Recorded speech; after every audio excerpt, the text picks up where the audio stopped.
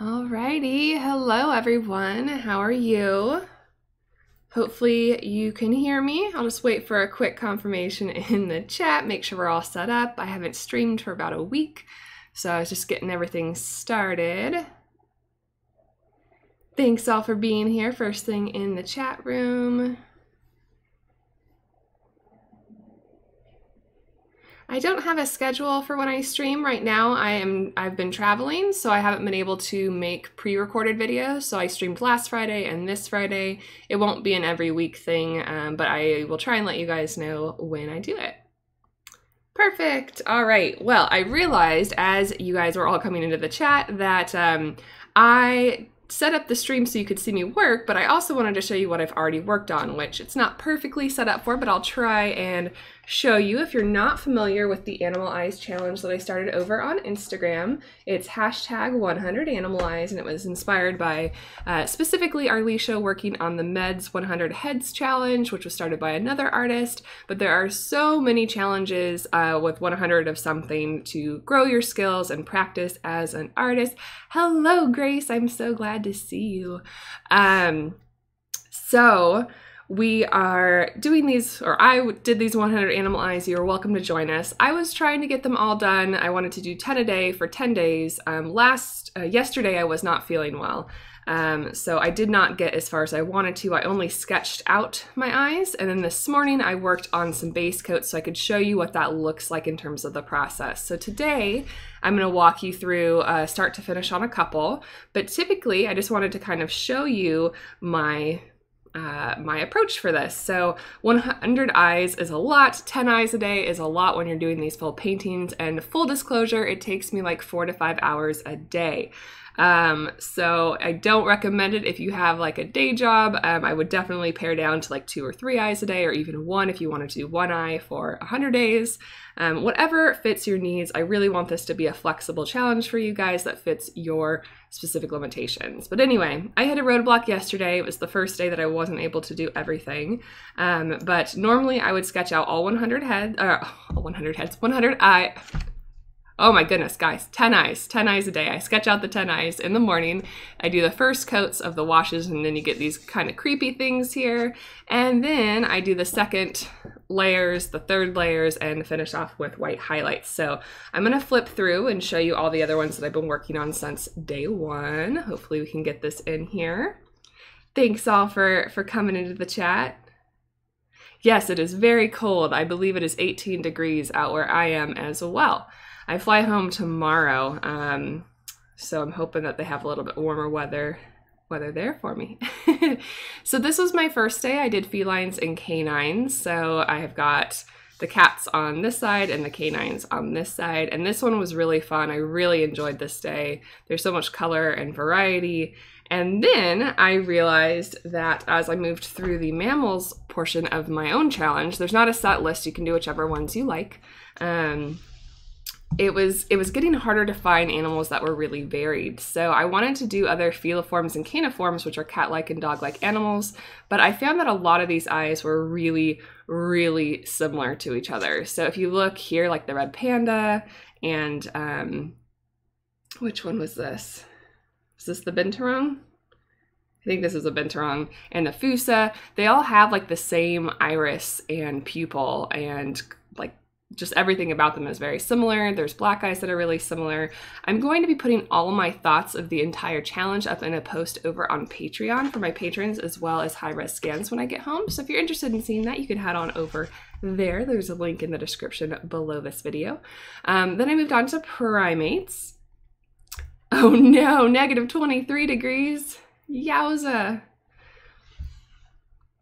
Is that Fahrenheit or um, the 18 degrees is in Fahrenheit, so it's below freezing here. Uh, I don't know what the Celsius translation is, but it's cold. um, so primates was another day that was really similar, and honestly, most of it was pretty tedious. Um, I did find that I got really bored doing all the brown eyes, but things like the tarsier eye and the Japanese macaque was really cool. I throw threw in the human eye so I could get a little pop of color. Then, um, let's see, what are you guys asking? Oh, it was a snow leopard.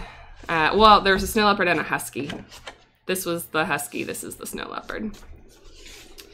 Um, and then I moved on to ungulates, and then we got a little bit more variety back into the mix because they have different shaped pupils, and so that was really fun to explore. We've got the goat eye. I know a ton of you asked for goat eyes. I did it right here, and a lot of you guys like the zebra over um, in uh, on Instagram.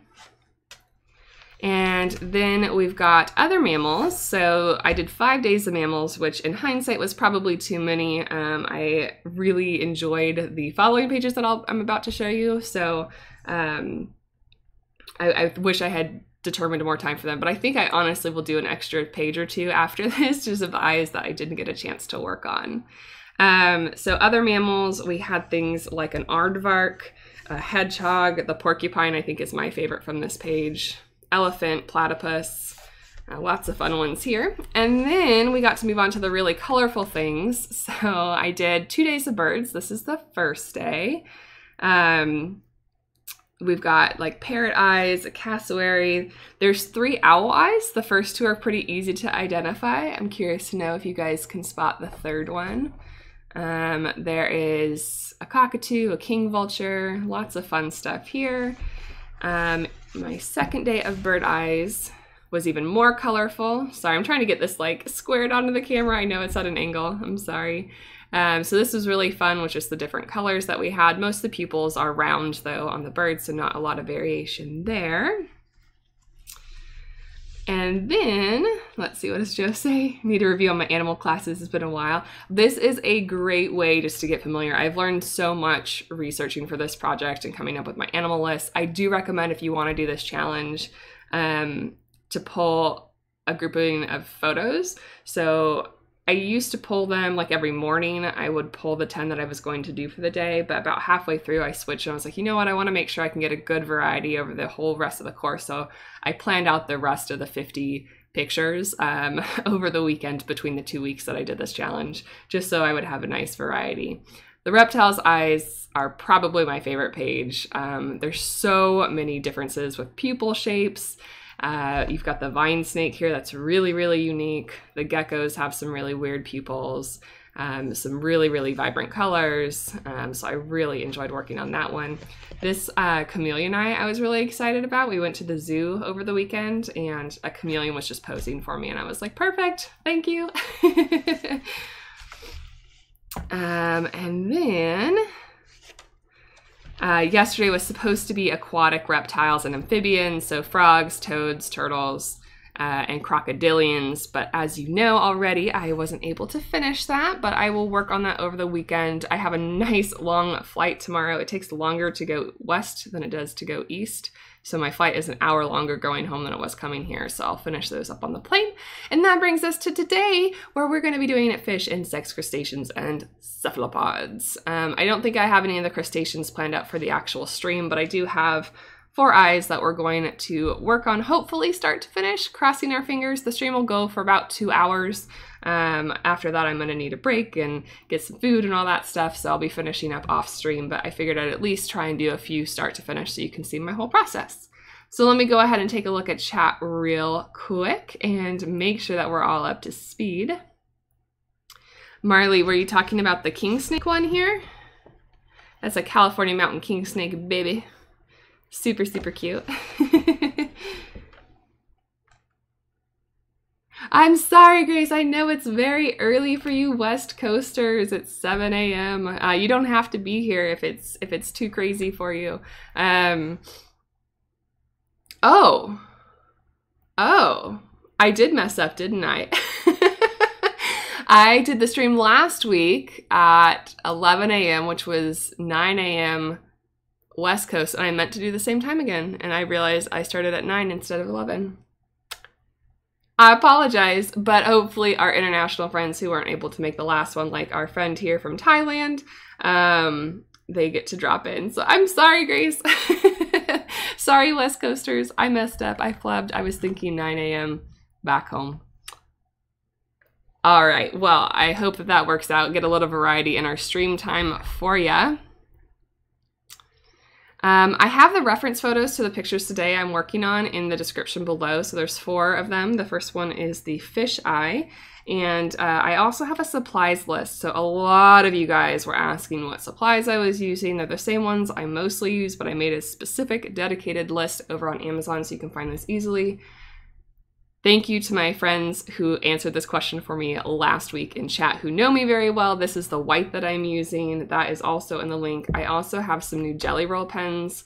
Um, I had been really against these pens for a really long time. And then when Steve did his comparison over on the Mind of Watercolor of uh, the whites that he likes to use, he really liked this pen, and I couldn't understand why. And he said that the bolds, the number 10s, are better than the standard ones. So I got some of those. Maybe we'll try them out today. We'll see. Um, and then I'm using my Da Vinci watercolors, which are in a ginormous palette that is going to have to sit off stream just because we can't see it. I'll also be using the Pentel water brushes, and uh, I think that about covers it. Any questions so far?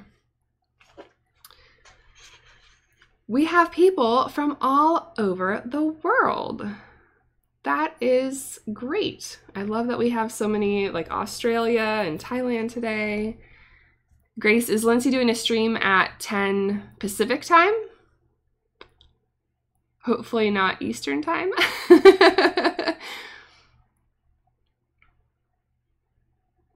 Grace, I got those online. Um, there was a big, oh good, good. Okay, 10 a.m. specific uh, Pacific time. We will be done by then. So that's good. Okay, so uh, we've got our jelly rolls here. These ones I ordered off of Amazon. I don't think these are on the list because I haven't used them at all yet. Uh, if I do use them, today would be the first day.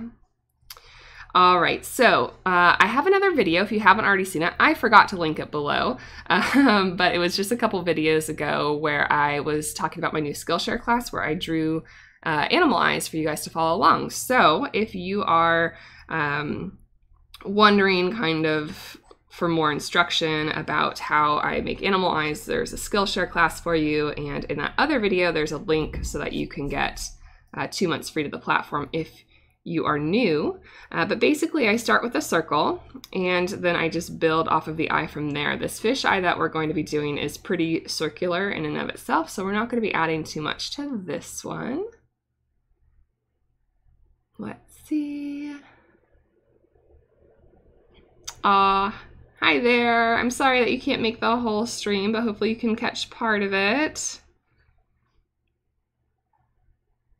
I know there was a couple streams I was doing and it was really, really late um, here, like 5 p.m. Pacific time, and then some of the people on the other side of the planet can catch those because it's early in the morning, but then it's harder for people here to get it. hey, Lily. So actually, now that I'm looking at this fisheye, there's really not much to draw. A lot of what we're gonna add is gonna be color. So I'm just gonna draw in a couple little landmarks for us. I admittedly am using a pretty terrible pencil for this challenge. I didn't realize when I was packing for this trip, I just threw a Reeves pencil in my bag and I thought it was, I don't know, HB or lighter, and it's not. It's a 3B. So this one smears really, really badly. I wouldn't recommend it. Um, I do love the Reeves pencil. I just wouldn't recommend something so dark.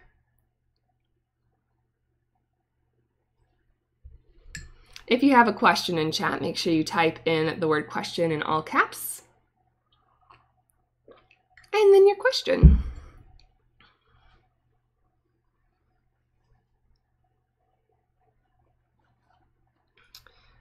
So yeah, guys, I don't think there's much else to do for this first one. I'm using a piece of, um, I would use printer paper if I had it, but this is just a piece of like B paper. I use it for swatching a little bit, but also protecting so I don't smear the graphite because this is such a dark pencil. question. This is the question format. Thank you, Grace. Yes, Joe, I agree. Um, the lighter pencils tend to be a little easier to use for sketching. All right, so I'm gonna skip this fish because most of that's gonna be color. The next one I have here is the Nautilus eye, which is a weird one. So I might wanna move this down from my original, sorry, I'm shaking the camera. From our original location. um, just because most of the detail is kind of around the eye as a whole. I also do that if you're doing 10 eyes a day, which I don't think many people are. There's a couple people that are sketching 10 eyes a day. Um, I do like to draw out all my circles before I start the entire day, just so I make sure I have enough room on my sheet of paper for it. But if you don't care if they fit on a sheet of paper, then that's fine. All right, so the Nautilus has a circular eye area. Oh, thank you, Grace, for linking that video. I appreciate it. Um, the Nautilus has like a flattened disc, I guess. I don't know what I would call it. I've not done any other eyes like this. A nautilus is a type of cephalopod, like um like a octopus or a cuttlefish. Question, have you been using mainly DS paints or a variety of brands? This entire challenge was done in DaVinci Paint, not Daniel Smith Paint. Uh, that's the paint that I brought with me for my trip, and I've been wanting to get more familiar with some of the colors that I got recently, uh, which I also showed off in a video. So I've been using that this whole time. All right, thanks for stopping in. Ooh, Grace. I actually didn't know what a Nautilus eye looked like in detail. Like I couldn't picture it until I looked up pictures of it. Is there a pencil brand that I recommend? No. I mean, you can use whatever you want. I do like the Reeves quite a bit, but it really doesn't matter. Cosmic made it into chat. Wonderful. Heather's getting some feline interruptions. Understandable.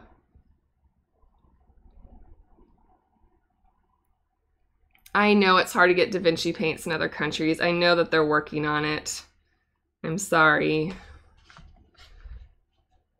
Uh, oh, I was looking for my eraser and it was sitting directly under my hand. yes, very creepy but pretty. That was the theme of, was it yesterday or two days ago? Like the outlines for the both the first reptile day and the second bird day were really, really creepy until they got more layers of paint on them.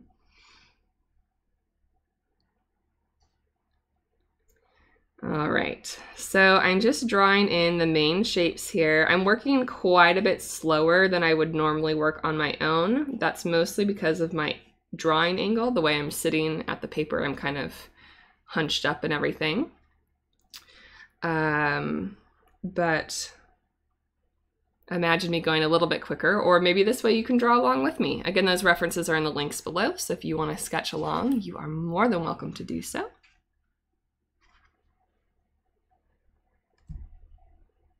Oh, thank you. I'm glad you like seeing the finished eyes. All right, next up we have a reef shark. Um, I will say, when I was looking for references for today for the insects and the sea animals, it was really, really difficult to find ones that I could use on stream. Uh, some of you guys have been asking this over on Instagram. I've been using copyright free or my own photos when I can, but if there's an animal that I want to study, I have been going to Google for that, but those images are not okay to like profit from. They're someone else's images. So while I'm using them to study from, I don't feel comfortable putting them on stream on like a monetized video. So all the images that I did pick today for the stream are copyright free, but they were few and far between. So if there's an animal that you wanted to see today, um, it originally, I did post this on Instagram as like a viewer's choice day, and absolutely is. I, a ton of you guys wanted to see fish and insects, so I wanted to make sure to get those in today. But there were some I just couldn't do due to copyright issues. So when you're doing your own challenge, you can use Pixabay, you can use Unsplash, or if you're just doing it for yourself, you can also use Google Images or whatever other form you need to find pictures. Just make sure you credit those artists appropriately, those photographers. So, how has everyone's week been? Are any of you that are in chat working on the challenge? I've really enjoyed seeing the Instagram hashtags. I've been checking them every day. I love that we've got a huge variety of mediums. There's people who are doing markers, there are people who are doing pencil and graphite, and there's people who are doing digital even. And I've just really loved seeing everyone come together for it. It's been really fun.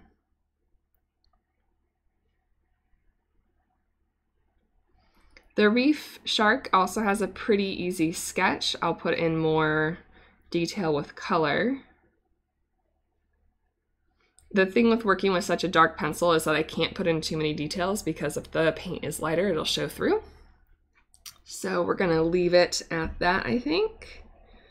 I also normally don't label the eyes. I just wanted to make sure I had as little room to mess up on stream as possible. So I wrote the little names next to them.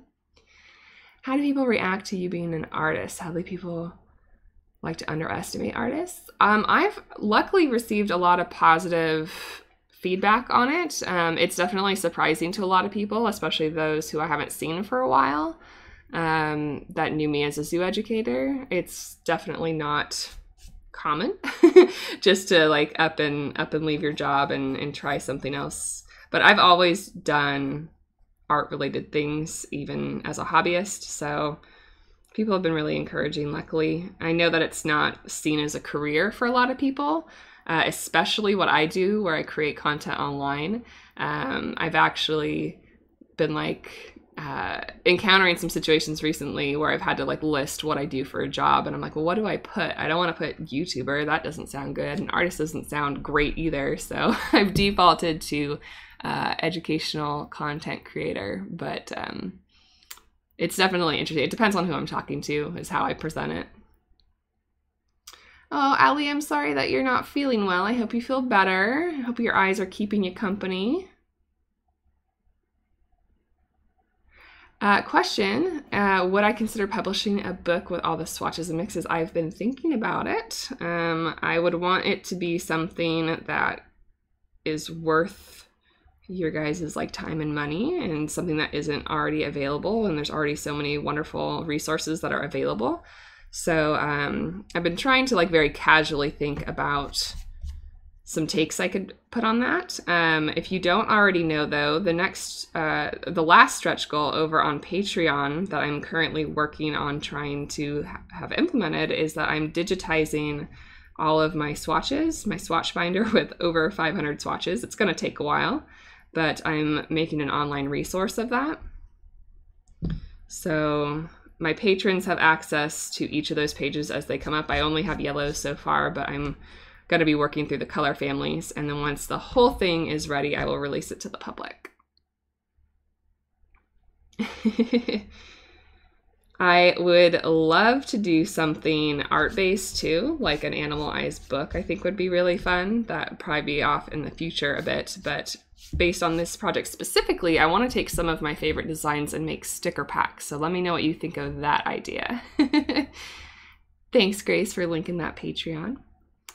Uh, perhaps we do a Kickstarter. Oh, uh, sorry, you fit, you continued your question. Kickstarter campaign, PDF format, hardcover, softback. Yeah, I don't know anything about publishing a book. I've done very uh, minimal, like trying to find publishers and things like that. I'm very, very picky. And if it was a color swatch book, I would want that to be like absolutely perfectly printed so that I'm not sending out false information. I know that can be really difficult. So that's why I kind of lean more towards doing the online swatch resource and then doing like an art based book so that the colors aren't as necessary. Hopefully, hopefully that helps. Hi from New Zealand. I'm sorry that you can't sleep, but thanks for joining us. Yeah, I hadn't been able to do a video because I was traveling, Heather. Um, but I was happy to like wrap up here. You guys obviously don't have to do it in my time frame for this challenge. You can start anytime you want. It can be any format you want, any number of eyes per day that you want, however it best fits your schedule. If you want to join us, just hashtag 100 animal eyes over on Instagram. I won't be able to share posts indefinitely from the challenge, but I've been sharing them while, uh, like each day at the end of the day, I try and go and pull some and share them to my stories, that kind of thing. yes to stickers. Uh, exams next week. Good luck with your exams. Thanks for stopping by. Oh, cool. I'm glad that you guys have interest in the stickers for the eyes. Hi, Emma. All right, so we have our eyes drawn. Um, the last one is a damselfly. the reference photo when you click on it is going to say dragonfly, which is a common misconception, but damselflies are in a different little group of them. All right, we ready to relax with some watercolors? So I think the most tedious part of this challenge is just, I can show you on my phone here. I have folders set up in like my Google Drive that just have all of the images uh, for a specific day, but they're not, I can't like order them, they're by date. And so um, I just have to scroll back and forth to find the one that I need. But if that's the hardest part of the challenge, I think we can manage. And I picked this particular fisheye, one, because there are very few fish pictures on Pixabay, unfortunately. And secondly, it had pinks and purples in it, which I haven't gotten to do much of in this challenge. So I thought it would be a nice, colorful change. Ooh, do like a big print of all 100 eyes. I don't think I can do that just because I used um, copyrighted images, unfortunately. Some of my favorite eyes are also copyrighted images. So I can't do that, but I could take the ones, I could try and find a good balance of maybe like a selection of 20 or something that are either copyright free or for my own references and um, make a print of those if that's an interest, if, if it's okay that it isn't the whole collection. I would love to do all of them, but some of the animals that I'm working on are so unique that there just aren't stock photos of them. So have to respect that and and work around it.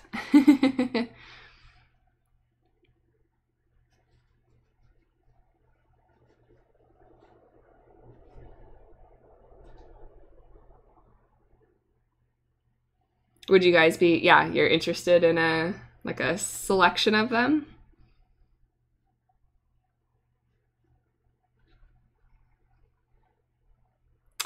Grace, you are way too kind. Thank you so much for all the links.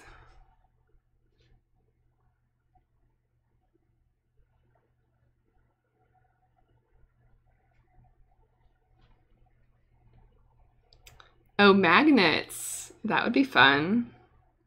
Magnets are um, quite expensive to produce, like to have to stock. I don't think they offer those over on Redbubble yet, right? I don't think that's a thing that they do. Which is weird because they do so many things, or maybe I just missed them.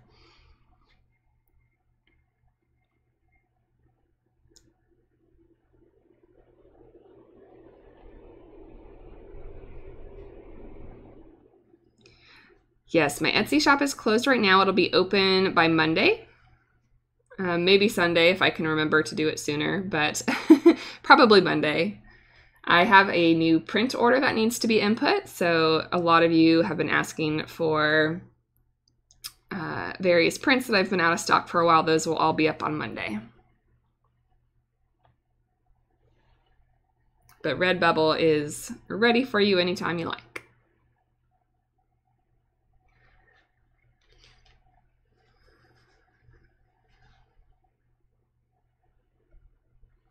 All right, thanks for stopping by. I hope you have a good day.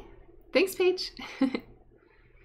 All right, this fishy contrasts really nicely with uh, some yellows and oranges on the skin around the eye.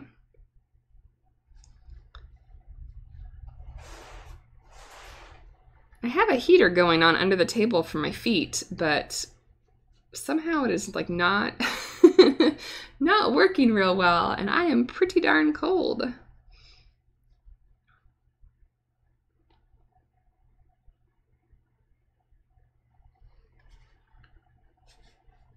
You know, it's really interesting seeing the different uh, stats for the streams that I've done.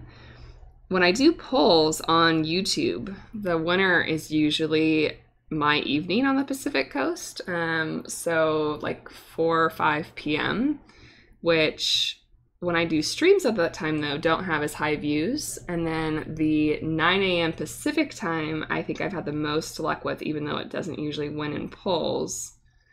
Um, last week we had a wonderful turnout of like 150 people. And then this time frame I messed up on. That's not anyone else's fault but my own.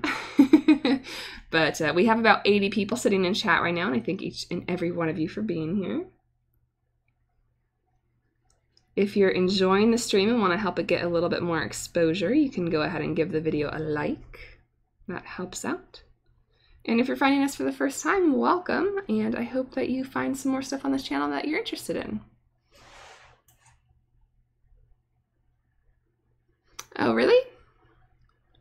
I don't watch a lot of streams here on YouTube. I watch streams over on Twitch, though, um, which is funny because I prefer to stream on YouTube. Well, I can't really say that, right? I've not, I've not streamed on Twitch myself, but you guys are all here. I figure, I feel like I would have a hard time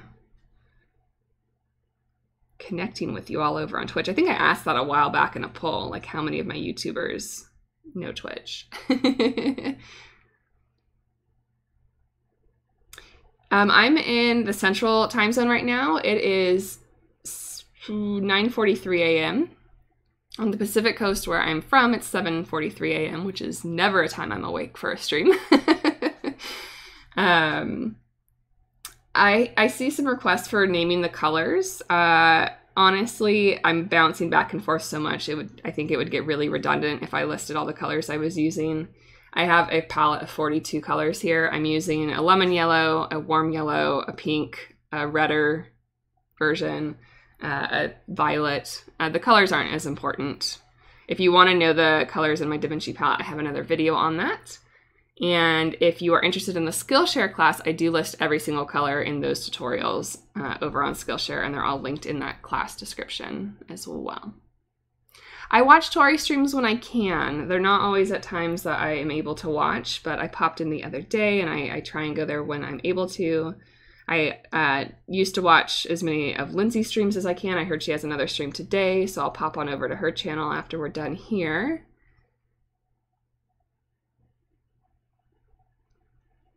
Um, I had make sure you put the word question so I don't miss your questions. But someone asked if I wanted to do a review on Arteza. I did a review on their paper and pens, and there were some term changes. I think that's okay to say. There were some term changes they wanted me to agree to, and I didn't agree to them, so they asked me to take down those videos. I'm not sure why the videos were still positive, even if I didn't want to be part of their affiliate program anymore, but they asked me to take them down, so I did.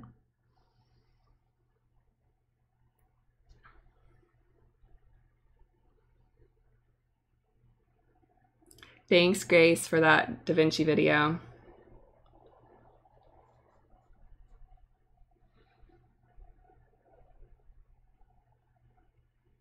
Grace, how are you and the puppers? It's been a while since we've gotten to catch up. Ooh, lots of Philippines viewers today. We must have found the Philippines time.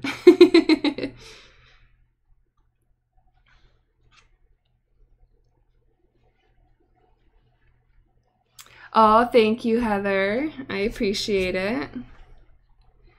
Luckily, cat photos are very easy to find. There are lots of cat lovers in the world. It gets a little harder when you're looking for like a mantis shrimp.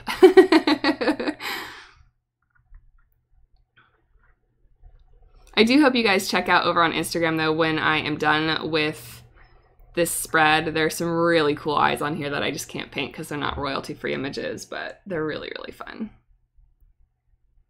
Oh no, did you have a question, Joe? I might have missed it. Question, question, question. I don't see anything for a while, Jess. If you want to retype it, I would be happy to answer it. Sorry if I missed it.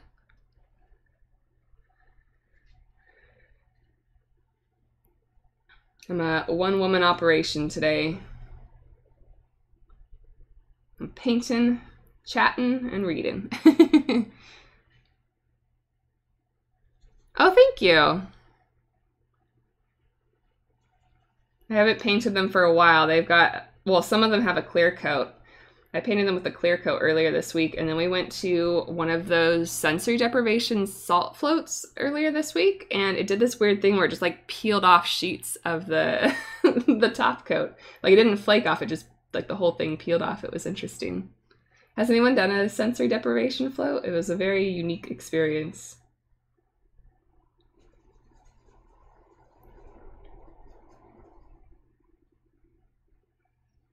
Any tips for controlling the staining colors as you are here? Staining colors. I'm trying to process, Joe. Sorry, I might be a little slow on the uptake this morning. Um,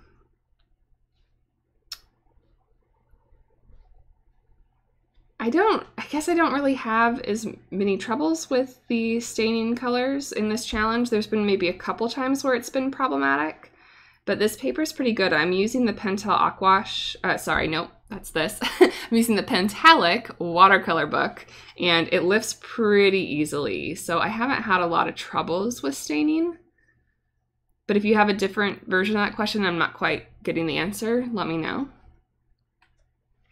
This stream will be up on the channel after it is finished, so just be aware that all your comments and chat will be available afterwards for those watching the replay.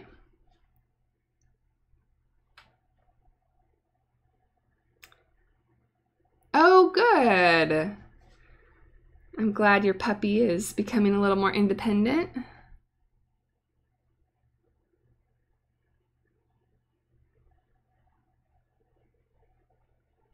Oh, cool. I'm glad that the, the sensory deprivation float worked well for you, Renee.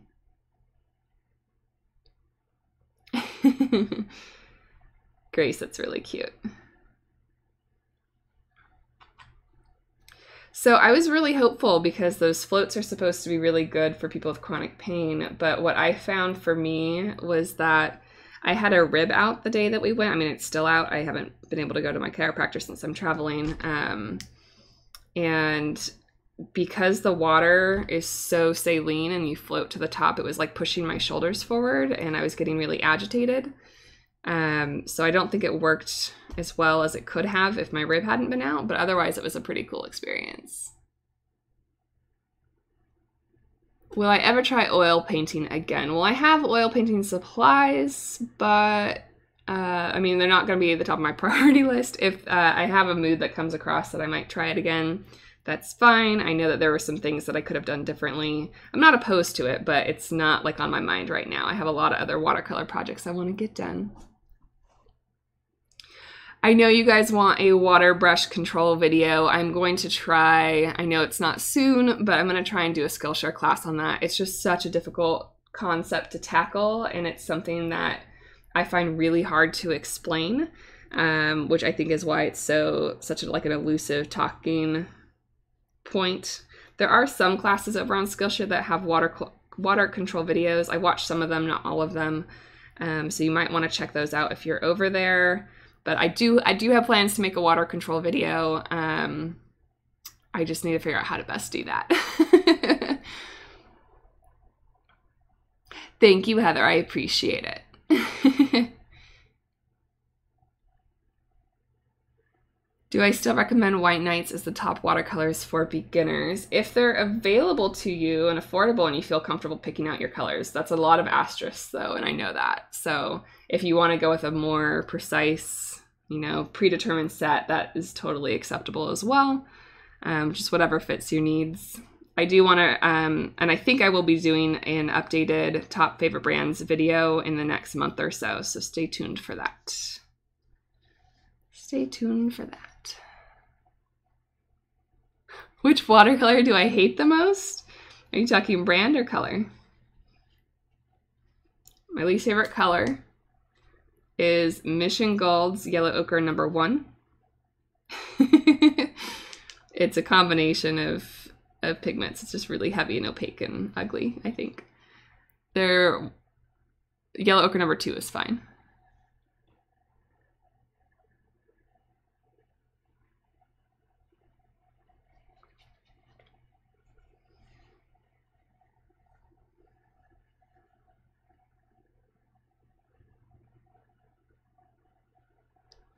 I know, Grace, but it's really bad. It's like a really, really, really gross yellow ochre. It's heavy and muddy, and I just don't like it.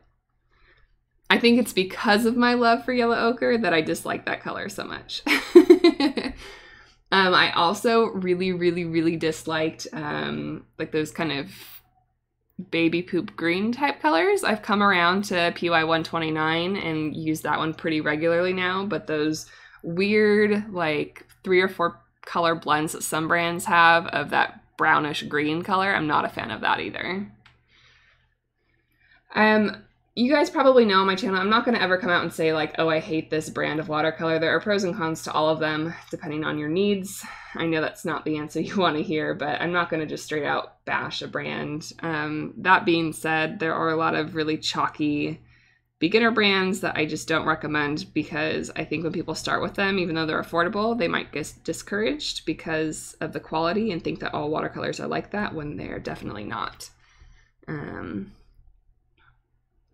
so yeah, that's my my my politically correct answer.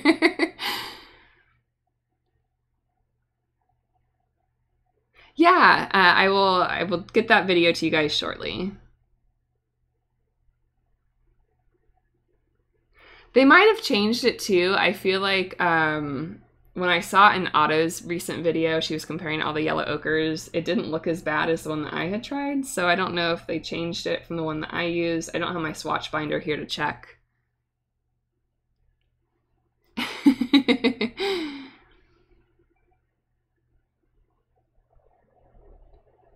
Do you have any recommendations for teal, aquas, and purples? Um,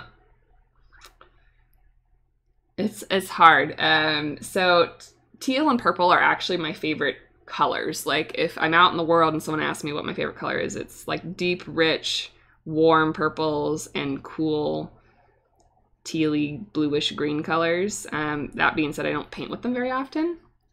So I don't have like I can't give you a recommendation on what I think is the best color to use on your palette because I think that's going to change based on your preferences and how they mix, and those can vary quite a lot. Um, I love most versions of Phthalo turquoise, though. I think they're really, really beautiful.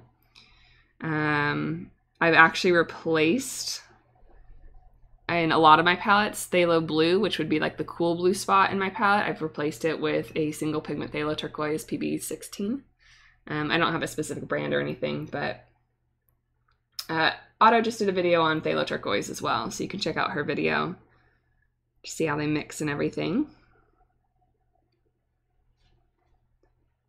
How are you guys liking this angle? It's different than before, so hopefully, I know it's not straight over, but hopefully you can see behind my camera because before I would like be blocking the eye with my hand when I was doing a lot of detail work. Uh, purples, I like the reddish purples. I really like Theo Indigo Violet, which is an odd one. It's PV88, uh, Rose of Ultramarine, things like that. And I also love for painting, like on a palette, my first choice of purple is PV23 Dioxazine Violet. It's just a really great mixer. If Daniel Smith is number one and Winsor's number two, would M. Graham be number three? That's my favorite lately, and it's easy to tint transparently. I haven't used their yellow ochre very much, Joe, so I'm not able to say for sure. But good memory Anya, for remembering that uh, Winsor Newton is actually my second favorite version of that color, which I know is odd for me, given that I don't like a lot of their paints. But their yellow ochre is solid. Cannot complain there. okay, bye, Lily. Glad you got to come in for a little bit. Have I ever painted a fennec fox? Funny you should ask because I was trying to find a picture for this challenge of a fennec fox and couldn't find a good one that I really liked. Uh, but it's on my list to paint one. They're really fun. And I worked with them when I worked at the zoo. Not directly with them or anything, but like they were there and we had babies the year before I left the zoo and they were super cute. So definitely want to work on a painting of them. Is Schmincke Academy still your favorite student brand? Um, Schmincke in general is pretty muted. You get the most out of them when you layer. Um, like I said, they're good for academy paints, but they are really expensive. So um, they're not the first student brand I'll recommend. I really like White Nights for that price point, even though they're an artist grade paint.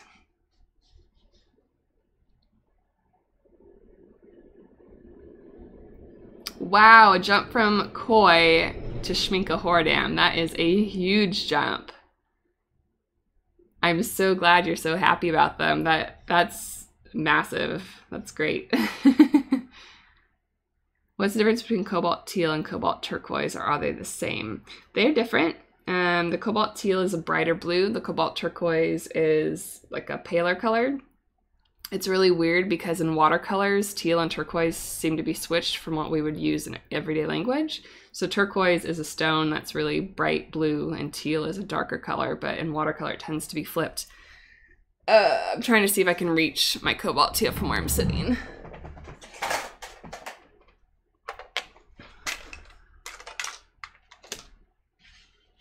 Let's see if I can show you this real quickly. This is Cobalt Teal. I know it's blurry, guys. I'll move it into frame in a second. And this is Cobalt Turquoise.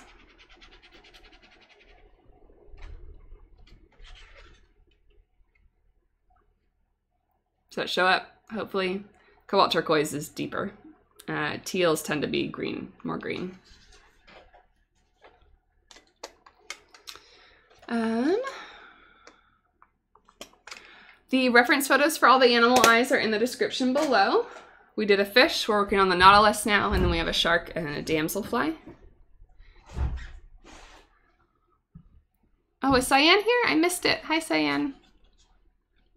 Which student paint set would you recommend for travelers of plein air sketching?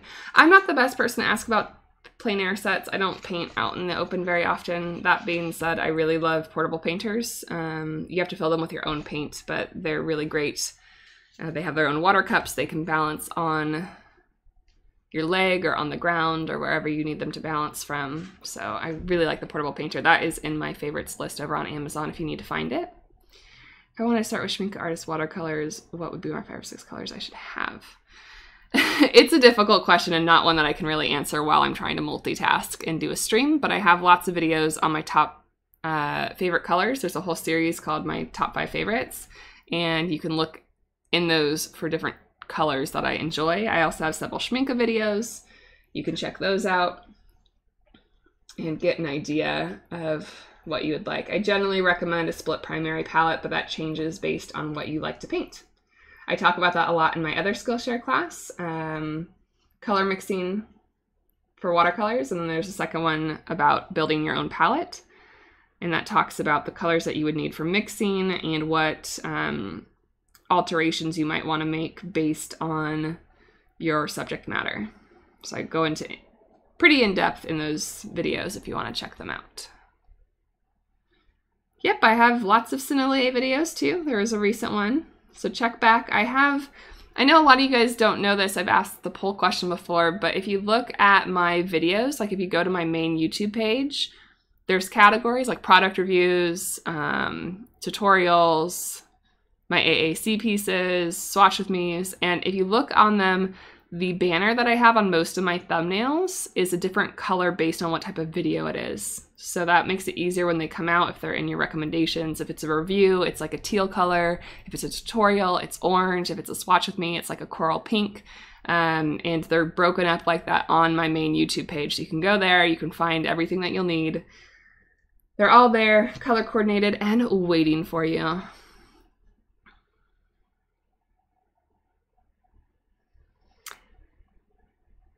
Hey, Ian, no worries. Never have to apologize, but we're always glad to have you.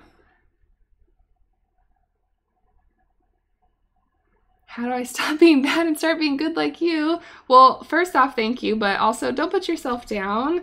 It's lots of practice. Uh, I've had my channel for like two and a half years now. I've been painting for about four years, and um, I've always been interested in art, so I just there's a lot of experience and you just have to i know it's stupid answer you know but i just have to say you have to practice and find an instructor that you really enjoy whether that's me or not and and look at their tutorials and try and learn from them and absorb absorb what you can we are living in a wonderful age of social media and while that can be a negative thing sometimes a lot of times it's really great because we have access to so many things online that we wouldn't have access to before. So take advantage. Uh, if you haven't already used a Skillshare like free membership, uh, lots of YouTubers have them, including me, where you can get two months free to try out the platform, and um, that can be a really good source if you're looking for for topics on teaching you more in depth than what a lot of YouTube videos can go into. We're limited by kind of our format and the fact that a lot of people are looking for YouTube videos to be, I don't know, 15 minutes or so. These streams obviously are longer, but the majority of my content is in a more easily digestible format. I am using um, the Cobalt Turquoise that you guys just asked about for this one here, and Payne's Gray.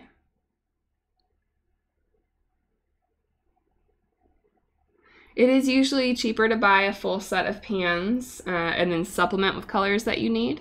But with White Nights that I mentioned earlier, um, I don't like their pre-made sets.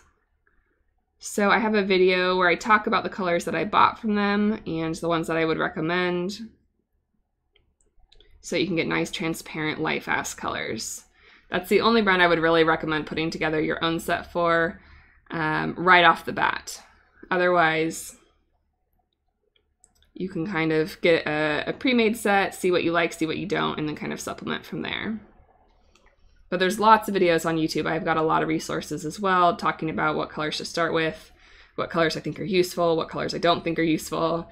I've got the whole color spotlight series if you want to learn more about individual pigments, if that's something that interests you.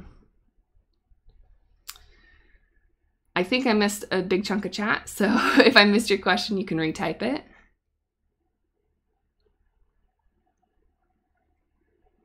Heather has EDS and Reeves are frequently pop out. Have you tried a tennis ball? Yes. I love my tennis ball. It is great.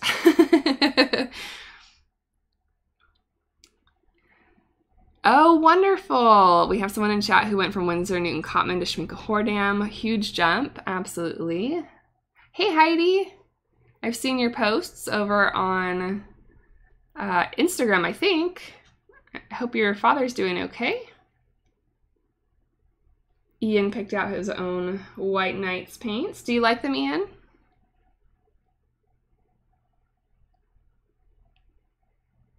My camera is, uh, it's not the best setting here because unfortunately if I move the table it wiggles the camera like I just did there. Um, at home I attach it to a bookshelf that's nearby my desk so that my direct movements don't shake it, but it's on a microphone arm. I have a little tiny webcam that I'm using for this particular stream, and so it's really, really light. And I got a fairly inexpensive, it's not great, uh, but it was like $15 over on Amazon. And um, it it gets the job done. It holds holds a small camera. I would love to be able to upgrade to a heftier one. I actually, for Christmas, I did get a heavy duty microphone arm for my Yeti back home. So I've got a nice sturdy arm for that one, but my camera's still on a, a desk mount. And honestly, um, for most of the videos that I record ahead of time that you guys see that are edited together nicely, that's recorded on my camera phone on a, a clamp on the desk as well.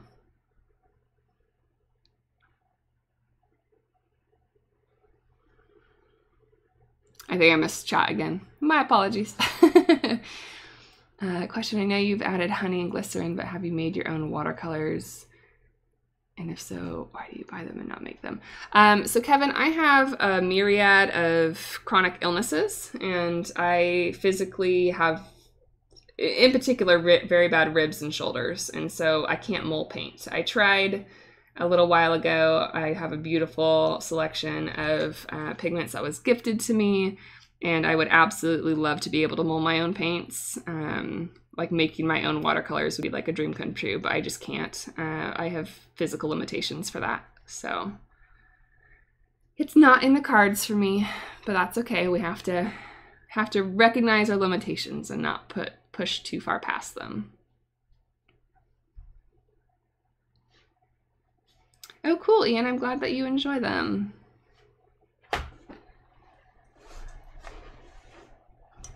Sorry, I had to readjust. Get a sip of water. You guys, how has it been an hour already? I have nothing to show for it.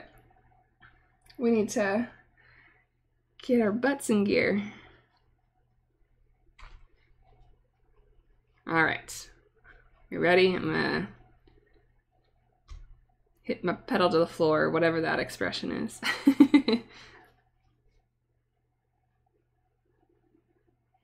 Uh, I have noticed, I think I mentioned this in the last stream if you were here last week, um, but I am in St. Louis right now and it's freezing cold, but that means that the heaters run all the time. So I've actually found that my paints dry a lot faster because the air is drier. So if you see me go over an area that you wouldn't necessarily associate with being dry already, that's probably what's going on is this, the air is dry and the water brushes allow me to work in thinner layers of water. So I'm not adding as much water to the page as I would with a traditional brush. I really don't understand what's happening with this. I have the heater on my feet and sometimes they're perfectly fine and then other times they're like freezing cold. I don't know what's going on.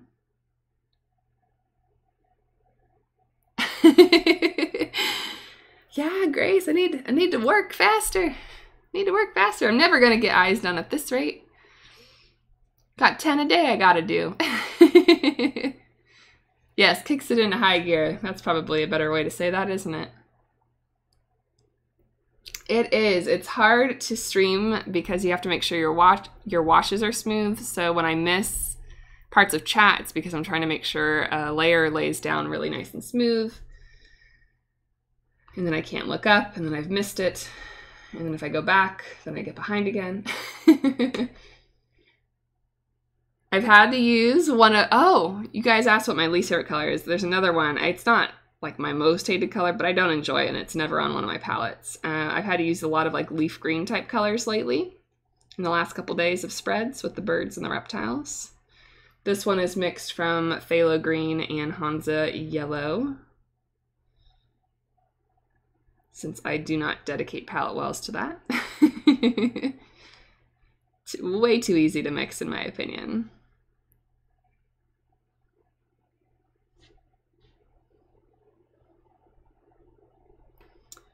So I've never painted an insect eye before. This is the damselfly.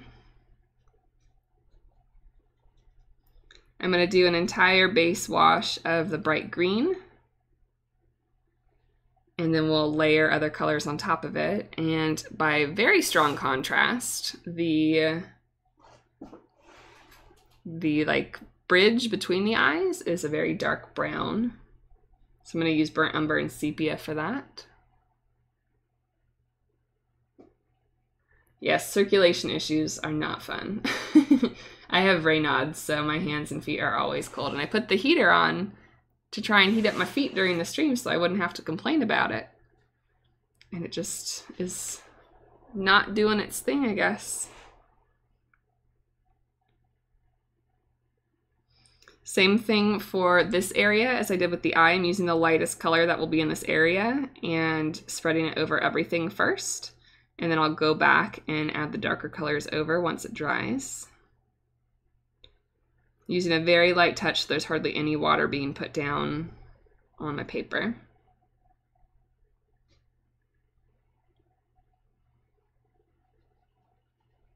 I do think I have to adjust this heater though, guys. I'm gonna have to get up for a second.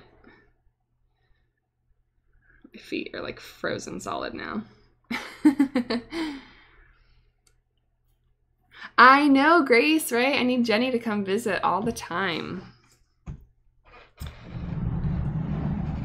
Could be some noises, possible camera juggles. I could put you on um my be right back stream, but screen, but then I wouldn't be able to talk to you guys. Let's try that and see if that's any better.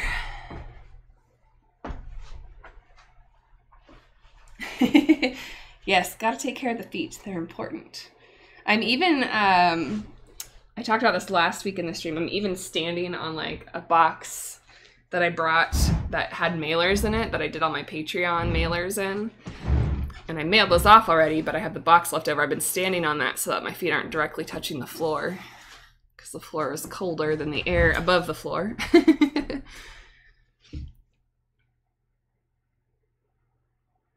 it's 18 here too, Cynthia. or it was when I started the stream. Yesterday, I encountered the first, uh, for the first time, a day that the warmest temperature was at 9 a.m. and then it got progressively colder. Had not experienced that before, so that was interesting.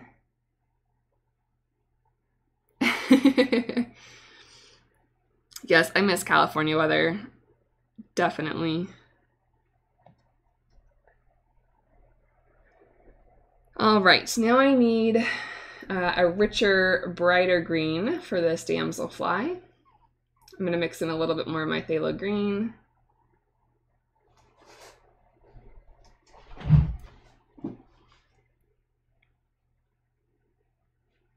This isn't fully dry, but if it runs or cauliflowers, it's fine uh, because of the texture of this eye. It's like really loose and flowy, and I'm okay with that if that happens.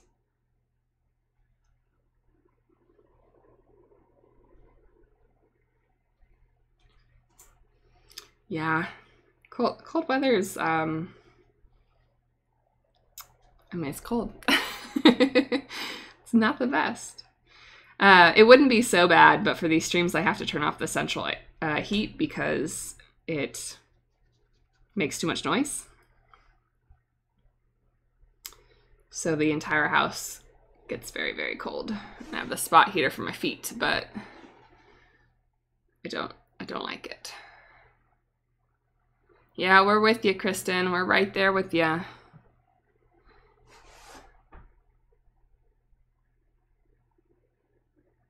couple years ago we had snow and sandal weather within four days. Yes, I am learning that that is very much uh, a St. Louis thing.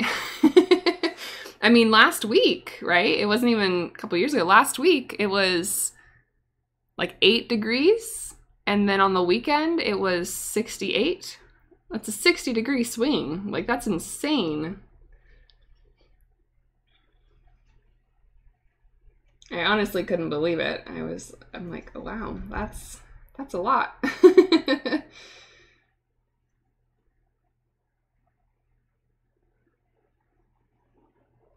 I'm mixing together some perylene green and some phthalo green. I don't know what kind of fish it is. I'm not good with fish, like fish ID. And that was just what came up on Pixabay and Pixabay is often not labeled properly or not labeled at all. So if anyone else in the stream knows what kind of fish that is in the link, you can let us know. It's some kind of tropical fish, I imagine. Arlicia's here. Hi, Arlicia.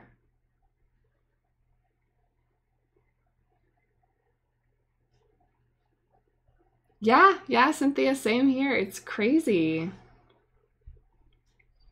I don't know how y'all deal with it all the time.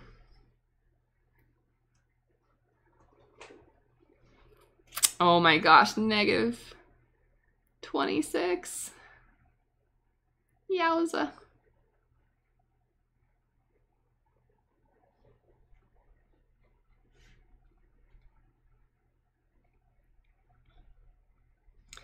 How are you doing, Arlisha? Are you able to take your little break yet. I know you are still working on some videos. I've not been able to keep up on my videos lately. Um, I'll be able to catch up next week when I get home.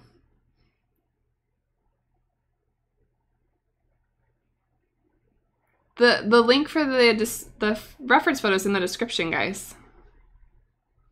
Is reference photos. There's four of them. The fish is the first one.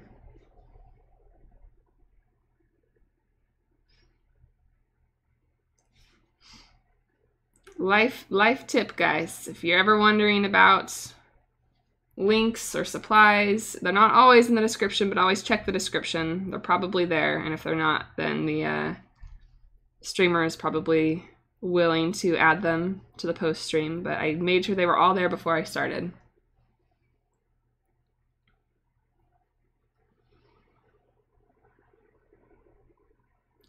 Aw, I'm glad you could stop by.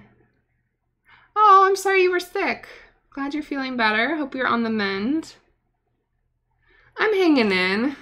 Yesterday was real rough, but feeling a little better today. A little sad though. I'm leaving tomorrow, and it's hard to believe it's already been two weeks. I definitely miss cricket. I miss being home. But I'm going to miss Beth when I leave too.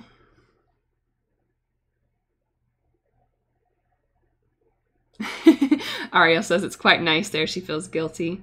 That's how I always felt in California when everyone's talking about their freezing cold winters. I'm like, ah, it's 48 outside. That's cold, right? oh, okay, a discus fish.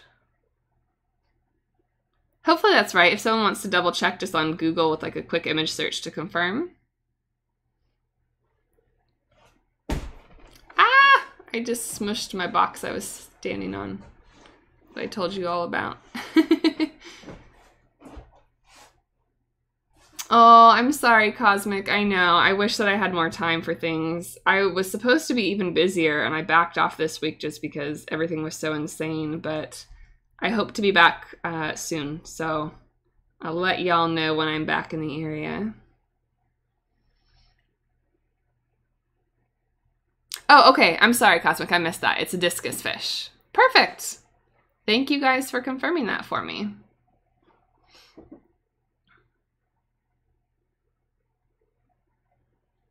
I just, I didn't look that closely apparently. I was trying to get the stream up and running it didn't get to all the, the info, but I appreciate you guys confirming that.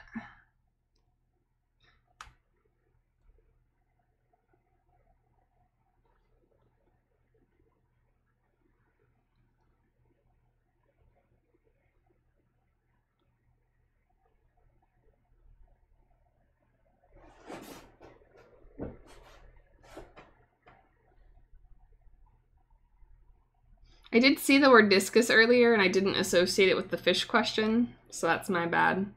I was like, why are people talking about the discus in here? As in, like, the discus throw.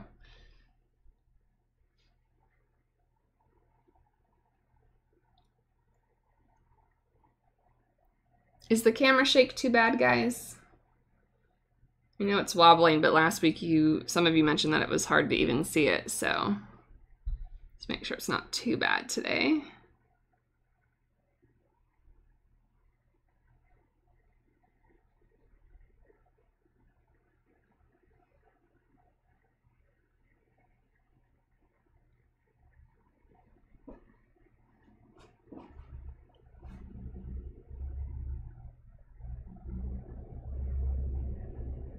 Cool. I'm glad.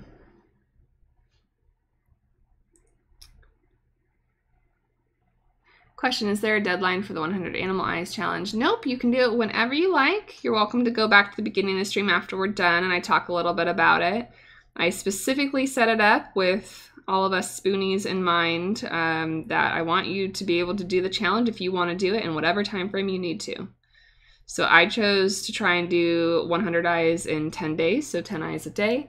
I missed that yesterday because um, I wasn't feeling well and I had really tried and pushed the other days and stayed up really late some nights to like 11:30 working on these. Um, but yesterday I just needed a recoup day, and that's fine. I drew them all still, so technically, technically I still did my my 10 eyes yesterday. I just didn't finish them. Um, but whatever works for you. I have a post over on Instagram that explains everything. You can see it in my feed. I probably should have linked that in the description below. That would have been helpful. I'll try and add it after the stream. It just gives you like a general rundown on the terms, but whatever medium you want, whatever format you want,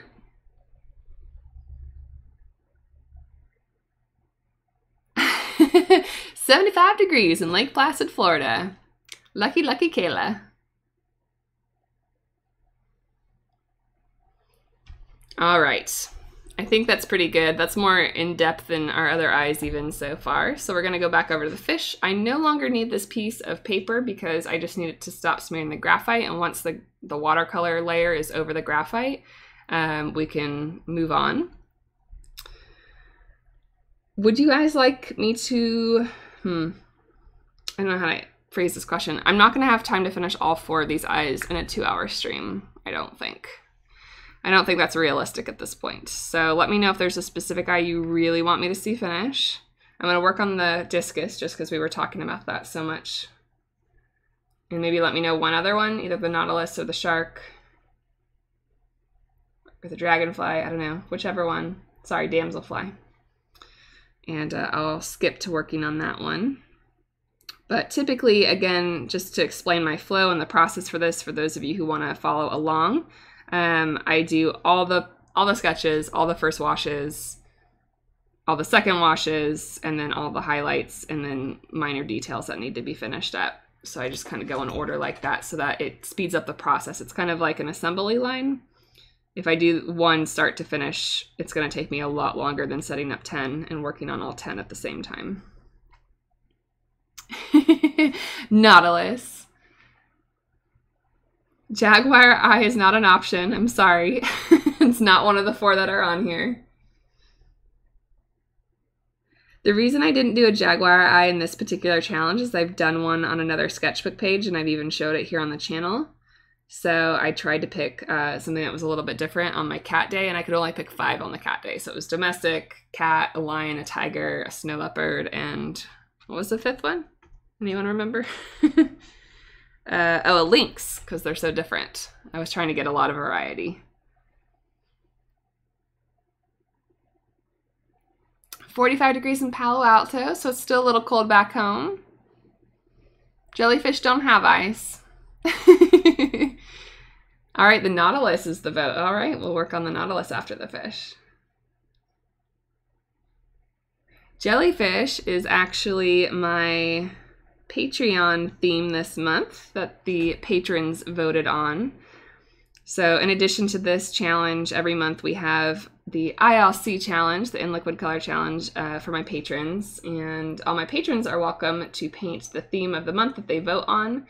We're doing animal ABCs, so this month it was all animals that started with J. And um, then at the end of the month, I share them all on my story. So you might have seen those before if you're over on Instagram.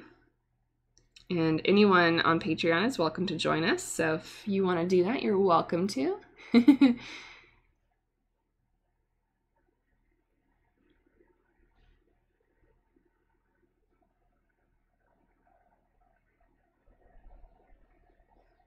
So right now I'm just layering in this purple around the edges to really deepen things up. I hope it's close enough to see detail. I can try and maybe closer, but I worry camera shake. Are you still in focus if we're right here? I think so. All right. Have a good night. Get some rest. Sure, if you want to, Grace, that would be great. Any spoonies in the chat?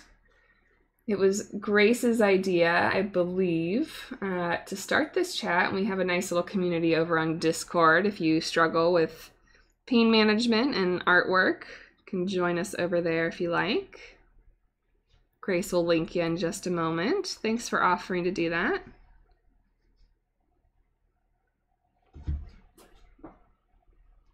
Box jellyfish have some form of an eye-like organ. Yeah, a lot of them aren't drawable.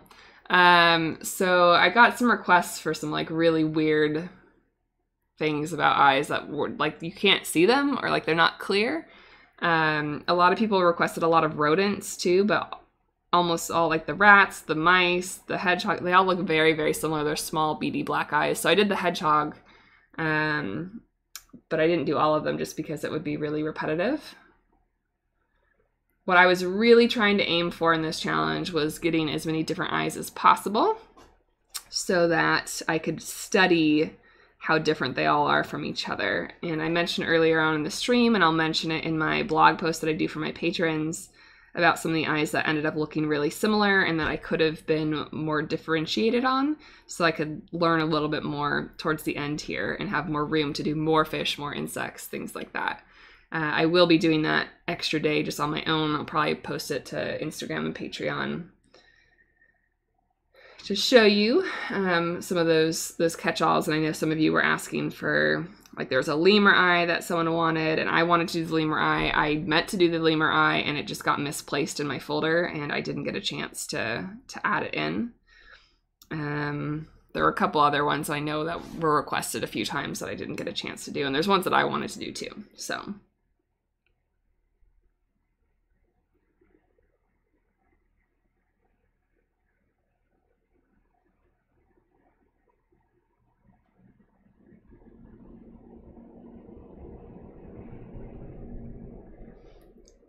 That is a good question. Uh, me, myself, is it Andy? Andel?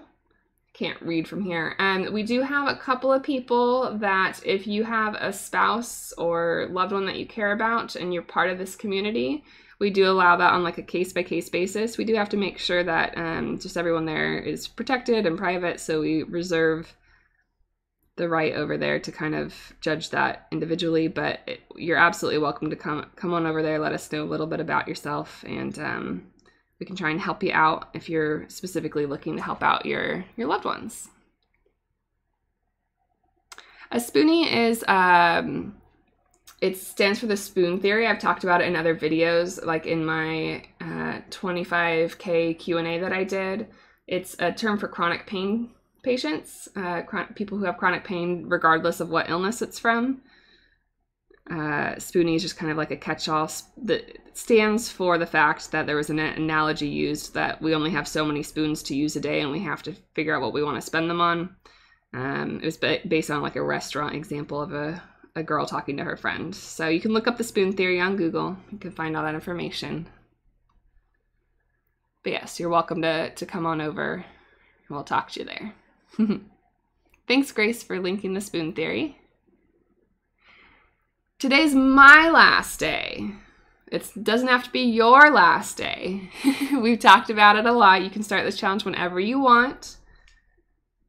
I chose to do it in 10 days. You don't have to do it in 10 days if you don't want to. Just however you can manage to do your 10 eyes or your 100 eyes over the course of however many days you need. I just want people to be able to like l- learn and grow and study and support each other. Check out the hashtag. So I specifically made this a spoonie friendly challenge. You can do it in whatever time frame you need to do.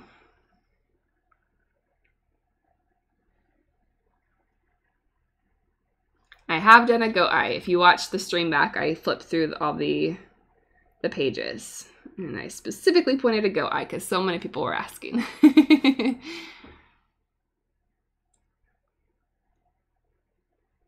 link the introductory post from Instagram. Grace, you are awesome. Thank you for all these links today. You're a rock star.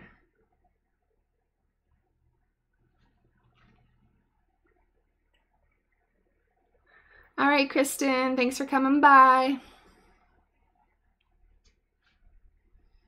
So I ended up putting this pupil a little bit high, um, and that's not where it is in the reference photo. We can still make it work, but just so you guys know, if you're looking at the reference, this is definitely higher up than it should be.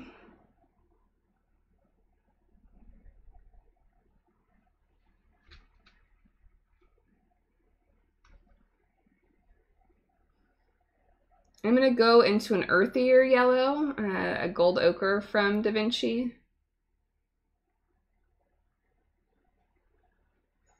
The first yellow we used was pretty bright, and I want to put in some yellow colors, but a little softer.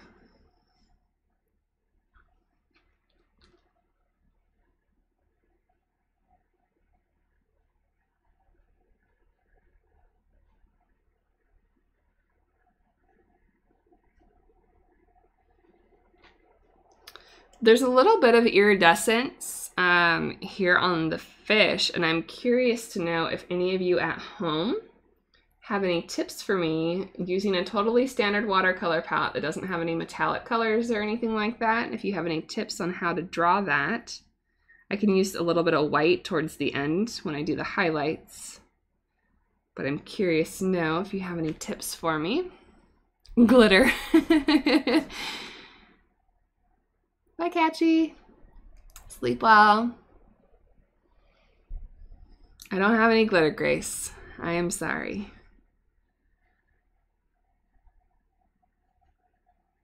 I have iridescent medium at home, but it is not here.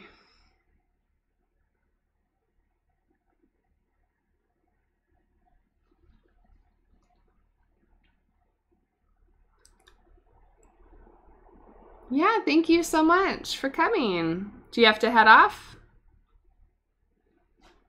Yes, Grace, I'll try the try the white at the end.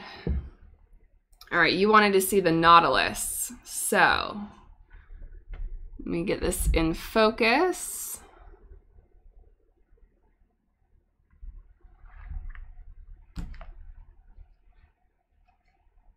How small can I make the dots? Pretty small. They're manageable. That's not in focus, is it? Let's see. we pull back. Is that in focus? Hopefully. Bye, Ryan. Have a good day at work.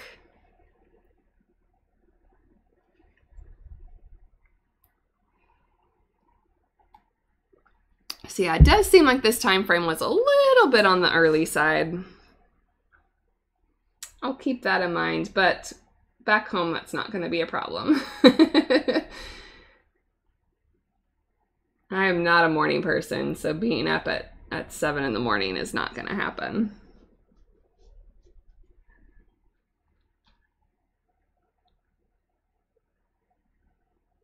Do I prefer Quin Rose or Quin Magenta? I use Quin Rose more often. Quin Magenta is more of like a true primary color in that you can get a wider range, but I find just in things that I paint, Quin Rose is more useful. I don't use a lot, as much as I love rich, warm purples, I don't use them very often in my painting. oh, good, Marley. I'm glad it was a good time for you.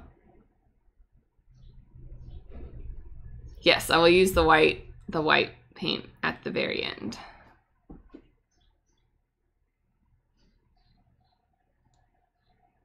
It is so hard with an international group of awesome people to find a time that works for everyone. So I think the last three streams that I've done have all been at different times. So hopefully that catches someone different every time and everyone can feel a little included coming to them.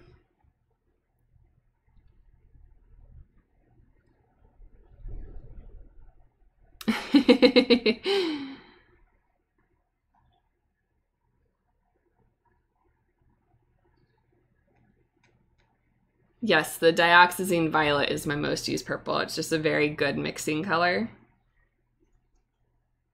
And as much as I love the warm purples, I just don't use them to mix other colors very often at all.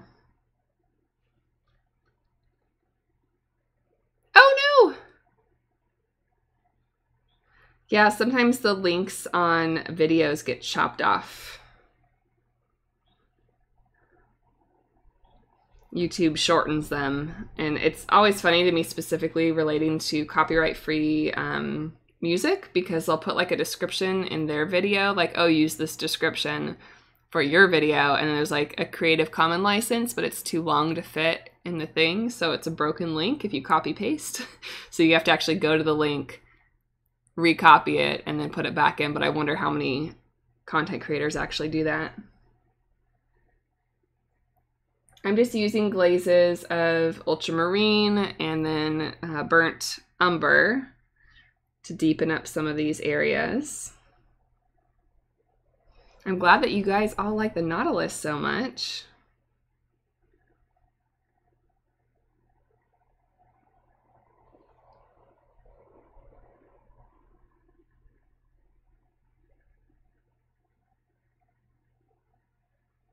Yeah, that's kind of what I have going on here right now. Um, someone suggested light washes and then white at the end. So there's purple over the yellow here. We'll add a tiny bit of blue to our white when we go over it and it should do okay. Hello, welcome.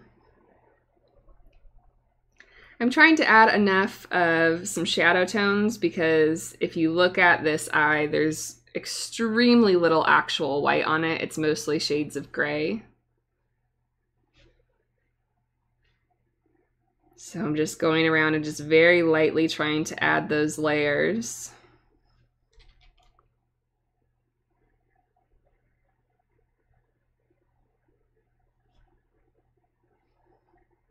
Really suggest the shape.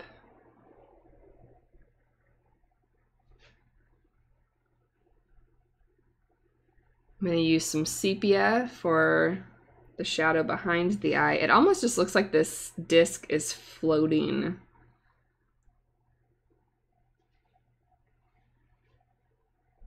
within these different pieces of the the body. It's really interesting.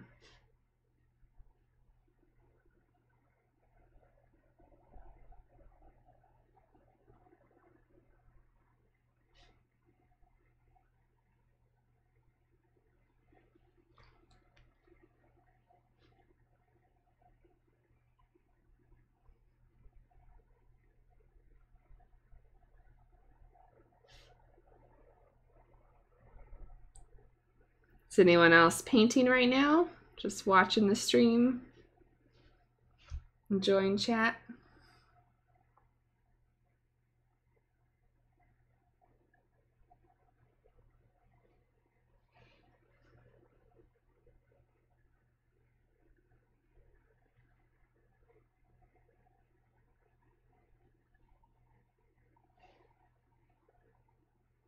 Making lunch.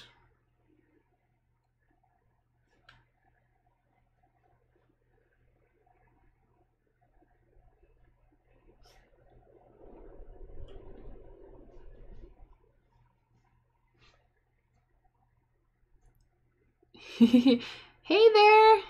Welcome, welcome.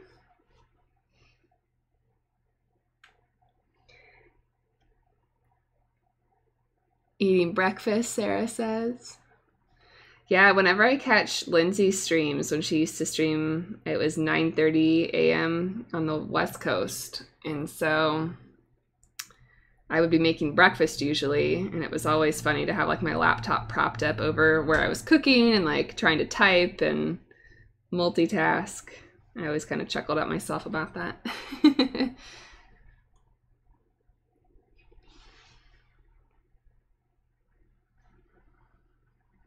oh, thanks for for turning me on at work. Hopefully that's okay with your employer. I never worked a job uh, where I was allowed to have my computer on. At the zoo, it was owned by our local city, and so it was a government agency, and like you could not do anything on your computer that was not work related. And I know a lot of people in the tech industry, including some people that are very close to me, and they're like, "Oh yeah, got YouTube on in the background all day, you know, listen to podcasts, whatever." I'm like, "Oh, that's nice."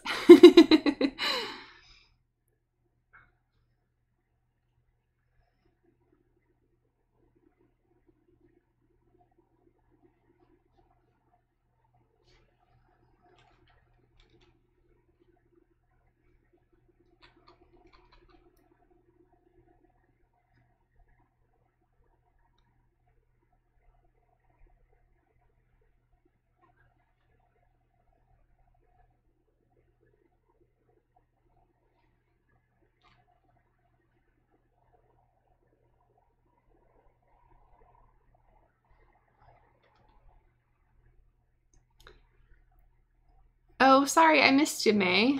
Welcome. Happy Friday. Oh, Cynthia, I missed you too. I hope you're recovering okay. Everything's going well. Dinner time in Scotland. Exactly. As a zoo educator, I bet you could imagine I wasn't at my desk very often.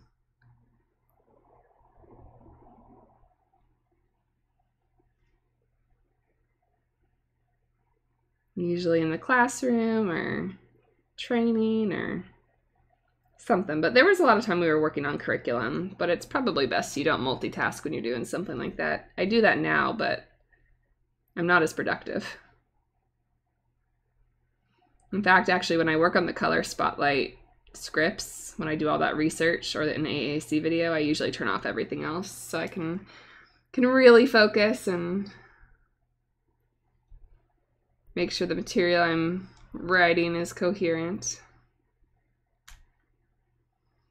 But for almost everything else, I have something on in the background. Streams are always weird in that regard because I usually work with either a podcast or a YouTube video or music. And then when I stream, it's just just my voice. Little intimidating.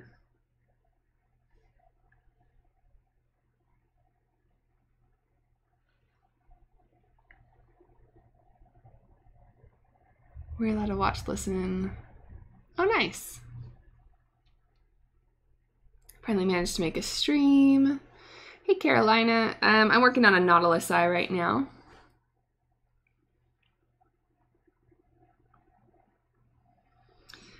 Yeah, I had a, a really strong connection to a few of the animals. I mean, lot, lots of the animals that I worked with, um, but like a few in particular that really stood out. It's been so long since I've been there, and I realized uh, the animal that I had the biggest connection with, it's actually been quite a while since she passed away. Um, it came up in my stories recently. She passed away in December of the year that it happened. Um, but it was an opossum named. Uh, Lindsay, and I talk about her in my AAC piece where we talked about opossums. I painted her. So you can watch that video if you want to hear a little bit more about that. I was also pretty close to a lot of the reptiles I worked with. I'm a reptile person. I like them. I like teaching people about them since they're misunderstood a lot of the time.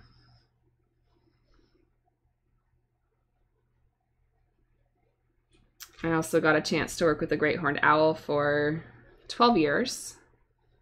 So I really enjoyed working with her.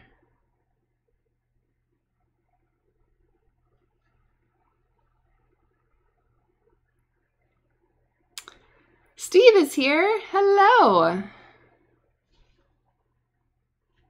I just watched your gouache video, Steve. Finally, I'm behind on all my YouTube videos. I found it immensely helpful.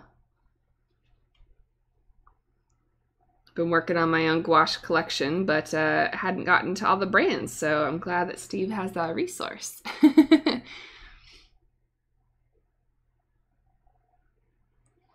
Reptiles can be really hard to care for just when you're able to get your own pets when you're an adult. Make sure you research them really carefully. A lot of people get reptiles thinking that they will be really easy to care for or that they won't live very long, but a lot of reptiles can live for over 20 years. So it's a big commitment and just make sure that you're ready for that.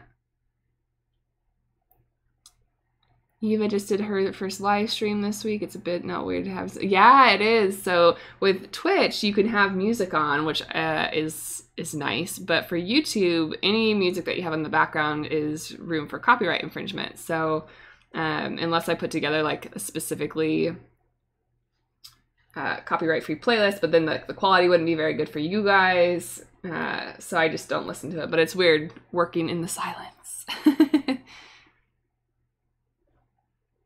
It was. I, I loved the animals I worked with so much. And that's true of everyone that works there. I know that zoos, I've talked about this in other videos, so I won't go into it too much here, but a lot of people give zoos a bad rap. And roadside zoos, sure, like those are not great, but um, accredited zoos, the people that work there have to have you know degrees and years of training and volunteer work and like they they have put in the dues to be there they want to be there they are working to make sure that their animals have the best life possible so it's not like you can just drop out of school and decide to be a zookeeper. It's it's a lot of hard work, and uh, people that are there really want to be there. oh, thanks, Grace, for linking Lindsay the opossum up there. Allie, you have eight reptiles. I think I knew you had a few. I don't think I knew you had eight though.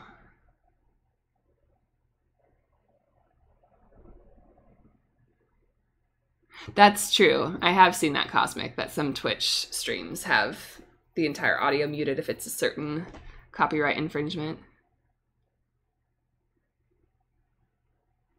Oh, cool. I, I, hope you like the video. Love finding out that opossums eat ticks. Yes, opossums eat ticks, and you want them in your yards, people. If you have an opossum, you are blessed with the power of tick eaters.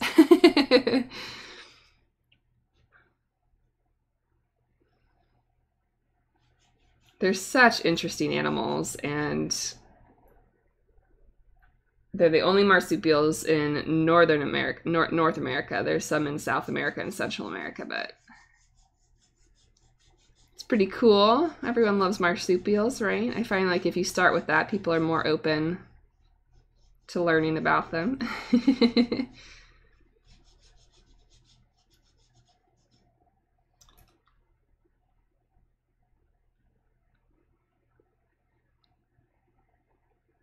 Oh, I missed something. You guys chatting so quick all of a sudden.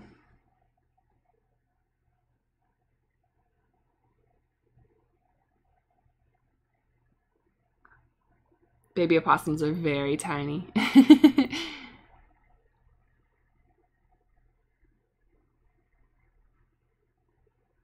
hello, hello. I can imagine they would set off the cat, Steve.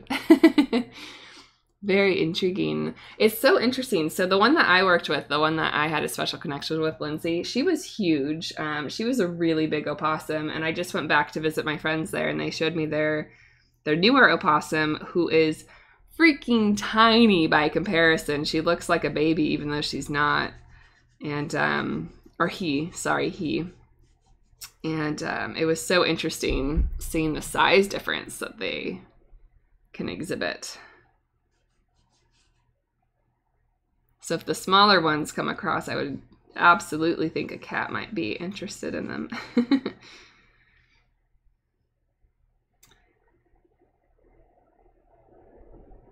yeah, definitely um, you want to make sure that the zoos that you're supporting are are keeping up to code and it's sad that they can't be in the wild but there's a lot of reasons that they can't be for a lot of places and um, mo- most AZA accredited zoos are involved with the SSP which is a species survival program so that they breed a lot of those big cats and make sure that their populations are are healthy so that if something happens with the wild population that they're covered.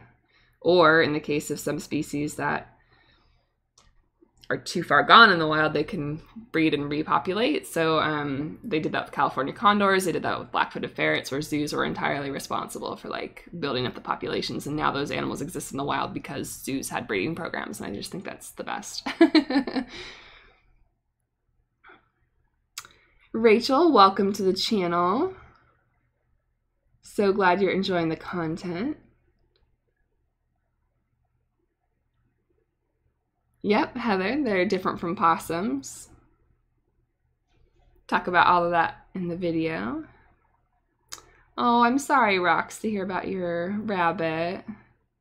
11's a nice old age for a rabbit, though. It's very hard to get attached, and opossums in particular, I think I talk about this in the video that Grace linked above opossums only live for like two years. And so the fact that I got so attached to her, it hurt so bad when we lost her because she was only like two and a half years old. And um, it doesn't get any easier. And I have no idea how I got so attached to her in particular, but it's definitely hard for that type of turnover. But the zoo that I worked at actually has like a local reputation for being like, they started off as a baby zoo like in the 70s or whatever. And so they had a lot of young animals but then when i was working there they were like the geriatric zoo because all our animals are really old. And a lot of people have misconceptions about that as well that um, you see animals that are really really old or like they're losing hair at the zoo or something like that and your your tendency is to feel bad for that animal. But honestly like we had animals that were five or seven years past their life expectancy in the wild. And so a lot of people just aren't used to seeing that. Like older people obviously lose their hair and don't look as, as sprightly as they did when they were young, too. So just keep that in mind when you're at zoos. If you see a very geriatric looking animal, they're probably just well past their life expectancy.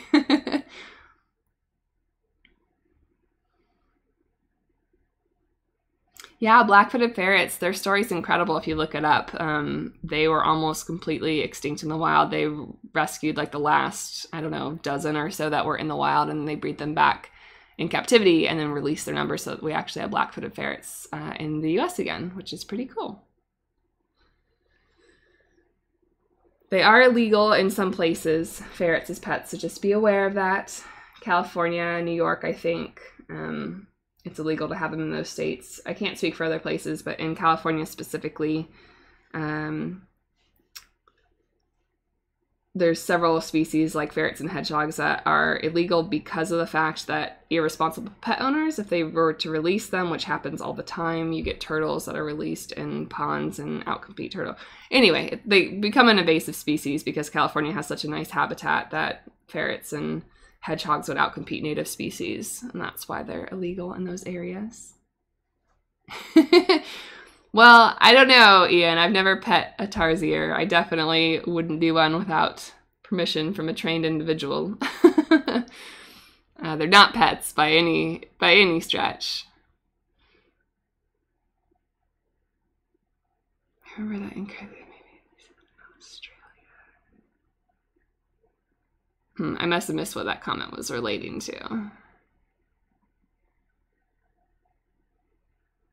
Aw, yeah, the opossum comes to visit you. So May, I did a tarsier in my primates day. You can see like a better picture on uh, Instagram, but this is what their eye looks like. They're pretty cool. You've probably seen like there's like a meme video that goes around of them like opening their eyes like really really wide. um,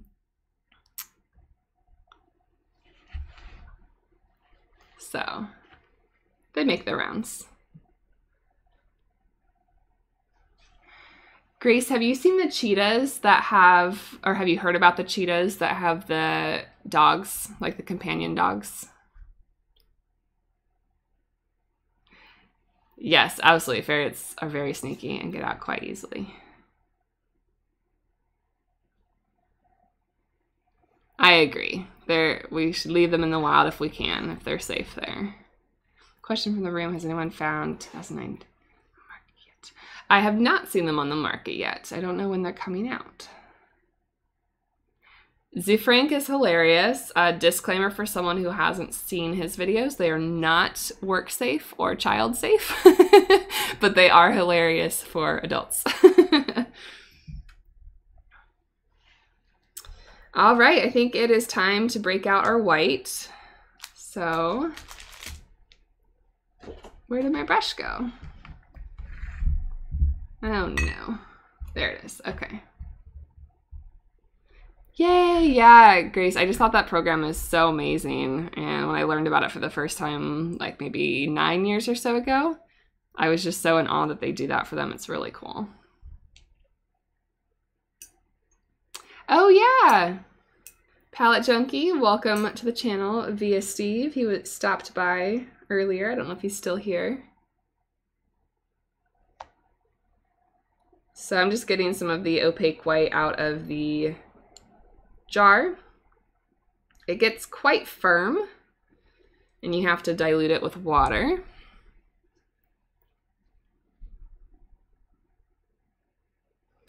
Oh, Rex, I'm glad that the live stream is helpful for you.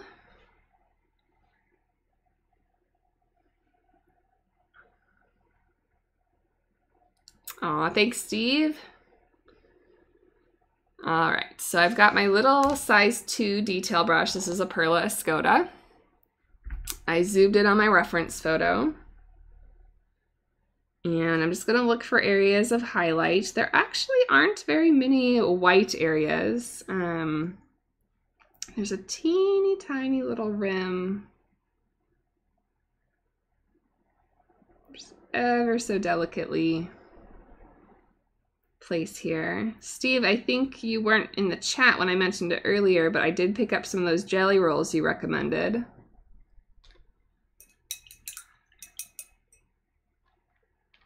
Haven't gotten to use them on a painting yet. Probably should have used them right here. I'm, I'm a creature stuck in my habits. Creature of habits. Whatever, whatever that proper phrase is.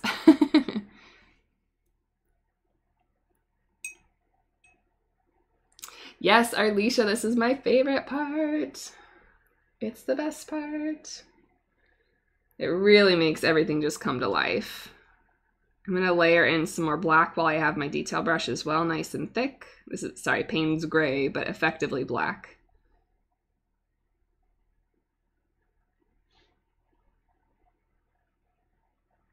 They, um, so Steve, they start off really weird. All of them have like a gunk on them. Did yours have that when you got them? Like I opened up the package and they all have like dried ink around the tips of them. I can clean them off and it works, but it didn't look real professional. I'm not gonna lie. Let's see. So I actually learned something really interesting about this black paint. I'll tell you in a second. Um, let me get out this jelly roll so I can show you. Can you see, I'll put it against the black. Can you see, like this is a brand new pen out of the package. It's a, it was a six pack and there's just like white ink all over it. So I don't know what's going on. I just have the worst luck with jelly rolls. Like I didn't like them before, and then I got this pack that just has ink everywhere. And I mean the the pens look fine, but I don't know. Anywho. Yeah, these did not have uh, plastic on the tips. They just came covered in ink. And I can get out more, like there's three more in this pack that I haven't opened. I've opened three. All three so far have been covered in ink. Let's see. Ah! Just sent a cat flying across the room. Yep, all of them have it. All of them have white ink on them. So I'm very glad that they work for Steve. I'm still not sold because I seem to just get duds every single time. okay, so this black that I have been using, it's the only dark that I have in this set, and Da Vinci doesn't have a wide range of darks, which I know is a plus for a lot of people um, who don't really care for black. Uh, but let me try and find an example of this. This is not specific to Da Vinci's paint, but I learned this while researching some black pigments that PBK6, which is the black that's used in this Payne's Gray, is uh, a completely opaque black. And so it's very different from other blacks that you can kind of see translucency through. So if you look at this cassowary eye, I don't know if it's going to reflect on camera properly, but do you see how flat that black is? And sometimes that can be good in what you're looking for, but if you want something a little glossier and a little bit more um, luminous, I would recommend staying away from PBK6 or, or Payne's Grays that have PBK6 in them, just because I noticed that throughout the challenge that I was having these issues with these textural differences. And then when I was researching the PBK6 for another purpose, um, I actually found that out. So I haven't done a color spotlight on black just because I don't have very many of them, but I found that really interesting. Hi, Samantha. Welcome. Unfortunately, Cricket is not here to play with the cap that flew across the room. Is that why we mentioned Cricket?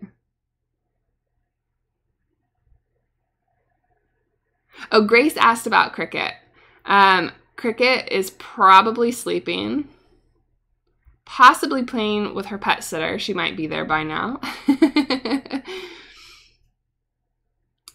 I miss her greatly. I haven't seen her for two weeks. I'll be home tomorrow and get to see her again.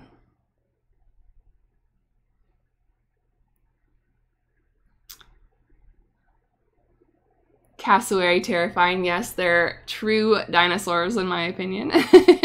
Definitely the closest thing we have to a dinosaur currently on the planet today. Uh, Denise, the glop of ink is because they traveled. Interesting air pressure and whatnot. So I wonder if I had gotten them from a local store, if they would have been the same. All right, Ariel. Yep, we're going to have to come to a close here. I should probably stop reading chat and keep working on my highlights. I use the Uniball Signo and have been using the Uniball Signo for like two years. The reason I wanted to try Steve's recommendation is because the Uniball Signo re-wets, and I don't mind that for paintings, but when I work on my bullet journal spreads, uh, they rub off on the opposite page. So I would ideally love something more permanent so that it doesn't do that. Uh, I know Steve specifically said in his video that he doesn't like that they're reactivatable. Um, this ink that it's ink, it's thick gouache that is also reactivatable, so I'm very used to it in my paintings and kind of rely on that, but I can totally understand why you wouldn't want that to happen if you want to put down a highlight and have it stay there.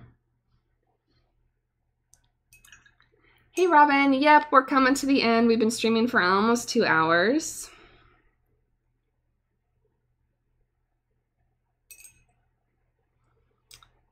Ian has a black horse to paint. I did do a tutorial on Patreon about the horse. It's not on YouTube though, so I apologize. Um,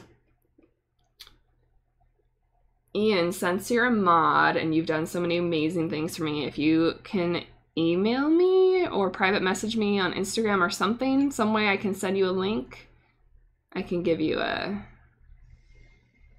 a peek. Don't tell anyone. but you've done so much for the channel. I'm happy to send that over to you if you want it.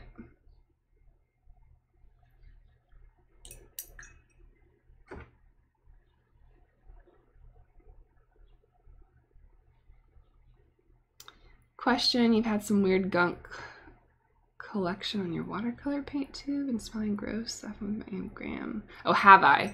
Um, I've heard that that can happen. You do want to be careful when you're closing your watercolor tubes to make sure that there's no um, paint stuck on the cap because it can get your cap stuck on them and dry that way. I don't have any problems with mold, but I know Tio has talked about that. He lives in a much more tropical area, so you can check out his videos on that.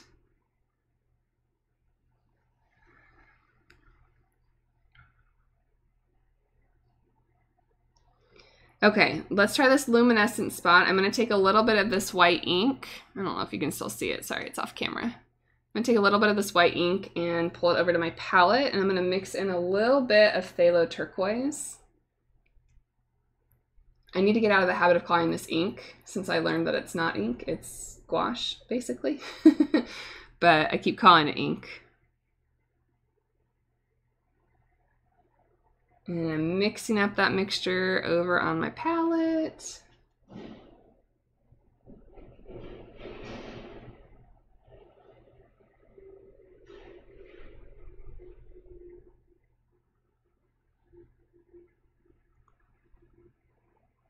I would be happy if I got a gouache white instead of a watercolor white. Watercolor white I find in my style of painting is particularly useless, but white gouache is very helpful. I know you weren't asking me, but that's just my two cents. yeah, Sarah, cassowaries are amazing. They're also one of the only animals that Steve Irwin was ever afraid of. they are scary, scary birds.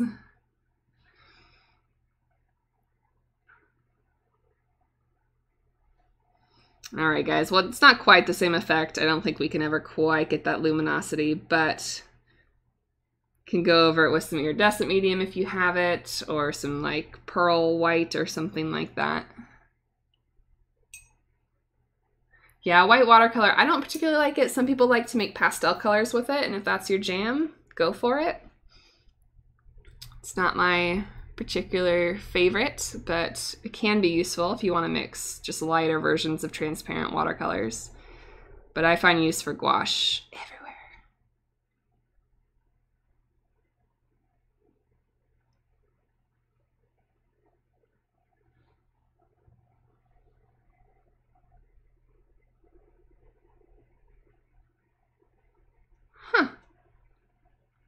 I know that you can contact M. Graham. They're pretty good about getting back to you if you're having any trouble with their products. All right, we're gonna work on this Nautilus. Let me flip back over to my other view so I can make sure that you are in focus, which you are not currently.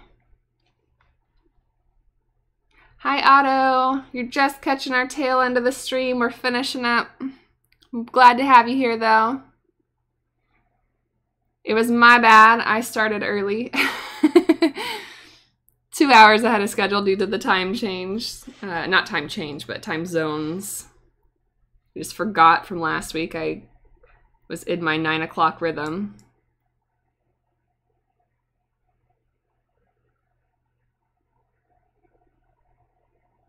Oh, thank you. I'm glad that you like the texture in the Nautilus eye. It's a lot of fun to paint. I really like these uh, flatter textures, and this isn't a wrinkle, but I kind of painted the same way. I've said that a bunch of times. I love painting wrinkles. They're probably my favorite texture to paint. Yeah, we got lots of awesome people in the chat right now. We've got our awesome viewers. We've got Arlisha. We've got Otto. We've got Ian and Steve.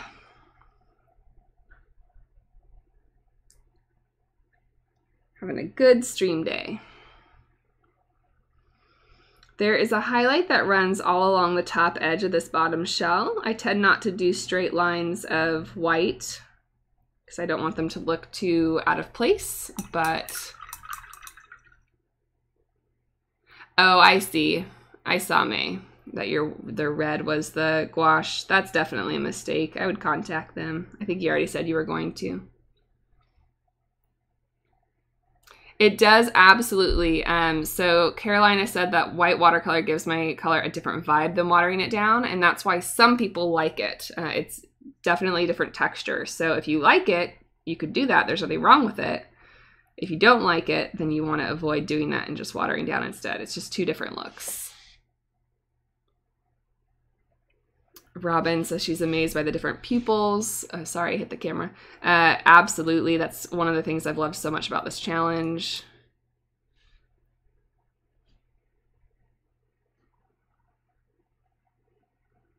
Scaly anteater is becoming your favorite animal. Oh, how cool.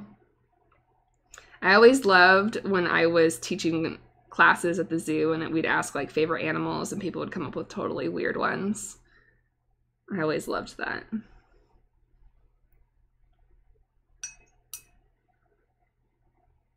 Question Do you prefer a sap green or a bright green? Who can answer that question? Any of my long timers can tell you. I love sap green, specifically Daniel Smith's sap green. I do not care for bright greens.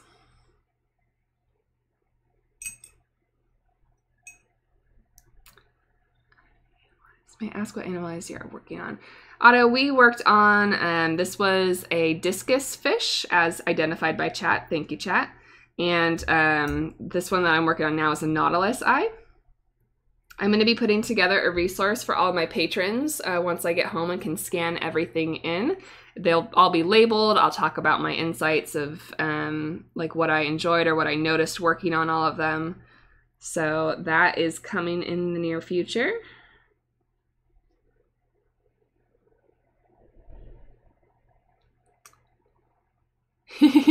yes, particularly the old version of Sap Green, but their new version of Sap Green is the closest that I have found to the original. I tried a lot of other brands hoping to find something that I liked, but Daniel Smith still has the best version in my opinion. no, it's a little better than okay. I'll give it more than that. I was hard on it at first, but it's it's lovely.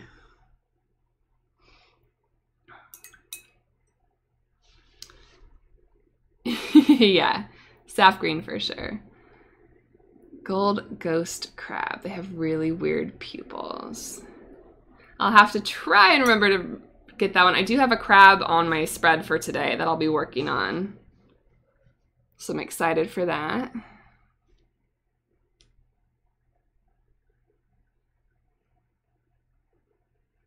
A male parrotfish. Very cool have to look into that. Like I mentioned, the fish were just really limited for what I could find as copyright free images today. Have I tried Turner watercolors? I have a very old, old video that is going to be painful to watch, so I shouldn't even tell you to look it up. But um, it's a speed paint, it's not a full review. Um, it's of a character called Brightwing from the Blizzard universe, who is a fairy dragon. And I used the Turners for that painting and I said I was going to do a review of them, and then I apparently lied to you guys for like two years, and I apologize because I never did that review. I still held on to them so that I could review them for you, but it should probably tell you guys something that I've held on to them for two years and not found or made time to review them. I'm not, they're not my favorite. They're okay. They're fine for the price point, but I think there are better brands out there.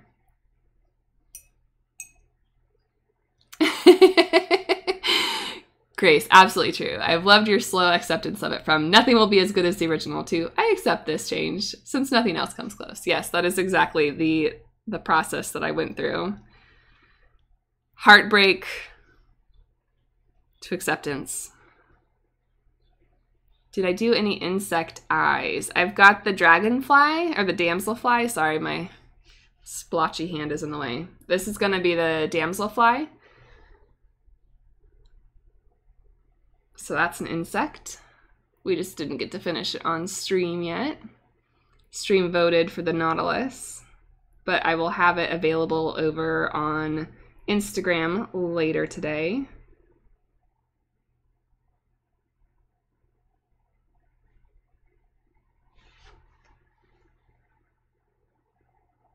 Yeah, I agree, Otto. Turners, it's hard to get a really good flat wash. Like, you absolutely can't argue with the price. The price is great, but I mean, you're going to lose something when you drop down that far in the price point. Why are most handmade paints opaque? Otto can probably do a better job answering that than I can. But basically, it has to do with the fact that human hands are not as uh, I don't know the word to use here, but I mean, a human hand cannot replicate what a machine can replicate in terms of like fine pigment particle size. And that's just a characteristic of handmade paints that a lot of us love about them, that they're unique and opaque and differing, but they are definitely different from what a machine is capable of, right? You'll keep an eye out for it, Robin. Wink, wink. Yes, and like Otto said, transparent colors are really hard to mull. I've heard that a lot too. I love these spots, you guys. Spots and stripes are like always my favorite thing to add, and I just think they're so fun.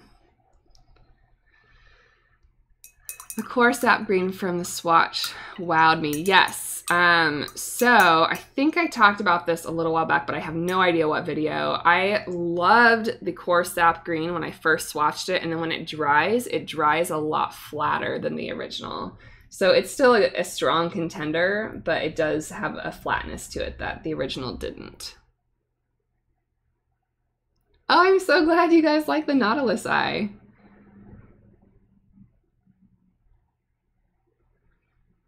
Yeah, I was reading Otto about uh, phthalo colors this weekend for another project I'm working on, and they were talking about the sheen of them, and that phthalos just tend to dry if you put them on too thickly. They're always going to have that sheen to them.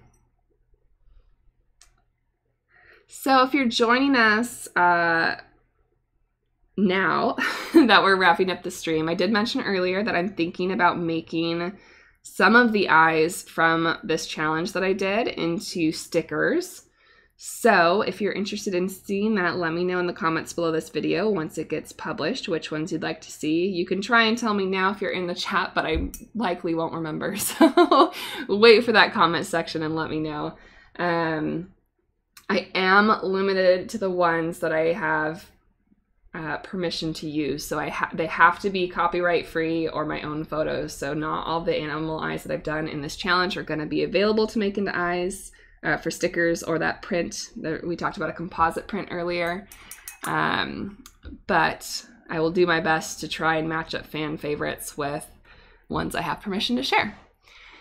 So, thank you, Grace, for that last reminder to hit the like button if you're enjoying this stream. I've had fun with you over the last two hours. I wish I could stay longer. I wish I could do more with you. I really wanted to get those four eyes done, but like I mentioned at the beginning of the stream, they do take a long time to work on and that this isn't a short challenge by any means. You're welcome to spread out the challenge. You can do one a day, two a day, whatever you like. 10 a day is definitely a challenge portion of that of that phrase where it's it's a lot of work but uh, it's really rewarding. I can't wait to see them all done. I'm going to be finishing yesterday's that i wasn't up for doing yesterday on the plane tomorrow and i should have those all up on patreon to show you guys uh, after the weekend and i'm really excited to do that so let me know if you have any last minute questions in chat. I'll stay here for another couple of minutes and just wrap things up. I want to thank my mods who are awesome, who came out. My voice is getting froggy. It's been doing that a lot here. I don't, I'll just be talking and then all of a sudden I turn into a frog. Um, but thank you to my mods for being amazing. Special thanks to Grace, who has been linking like crazy in the chat for everything that you could possibly want to find relating to what we've been talking about. Um, thanks to everyone who stopped by and asked questions and kept things lively. Any last minute questions? Are we good? I hope that you guys enjoy the 100 animal eyes question, uh, challenge, not question. and um, I'll see you guys in the next video. I don't have anything pre-recorded, so it'll probably be later next week. But let me see. Is it in my? Hmm. Is it in my my bullet journal? For those of you guys who are following my bullet journal spreads, I started bullet journaling again. Um, not it's not something I'm gonna do videos for because I'm doing really really simple things, but I'll see if I can show you a little peek. Just barely of what I'm working on next week. so that um, that will be coming your way finally, finally, finally. And yeah, I think that's about it. Question Have you had trouble with the Cotman Raw I haven't used uh, the pan, I used it from the tube, and that one was fine.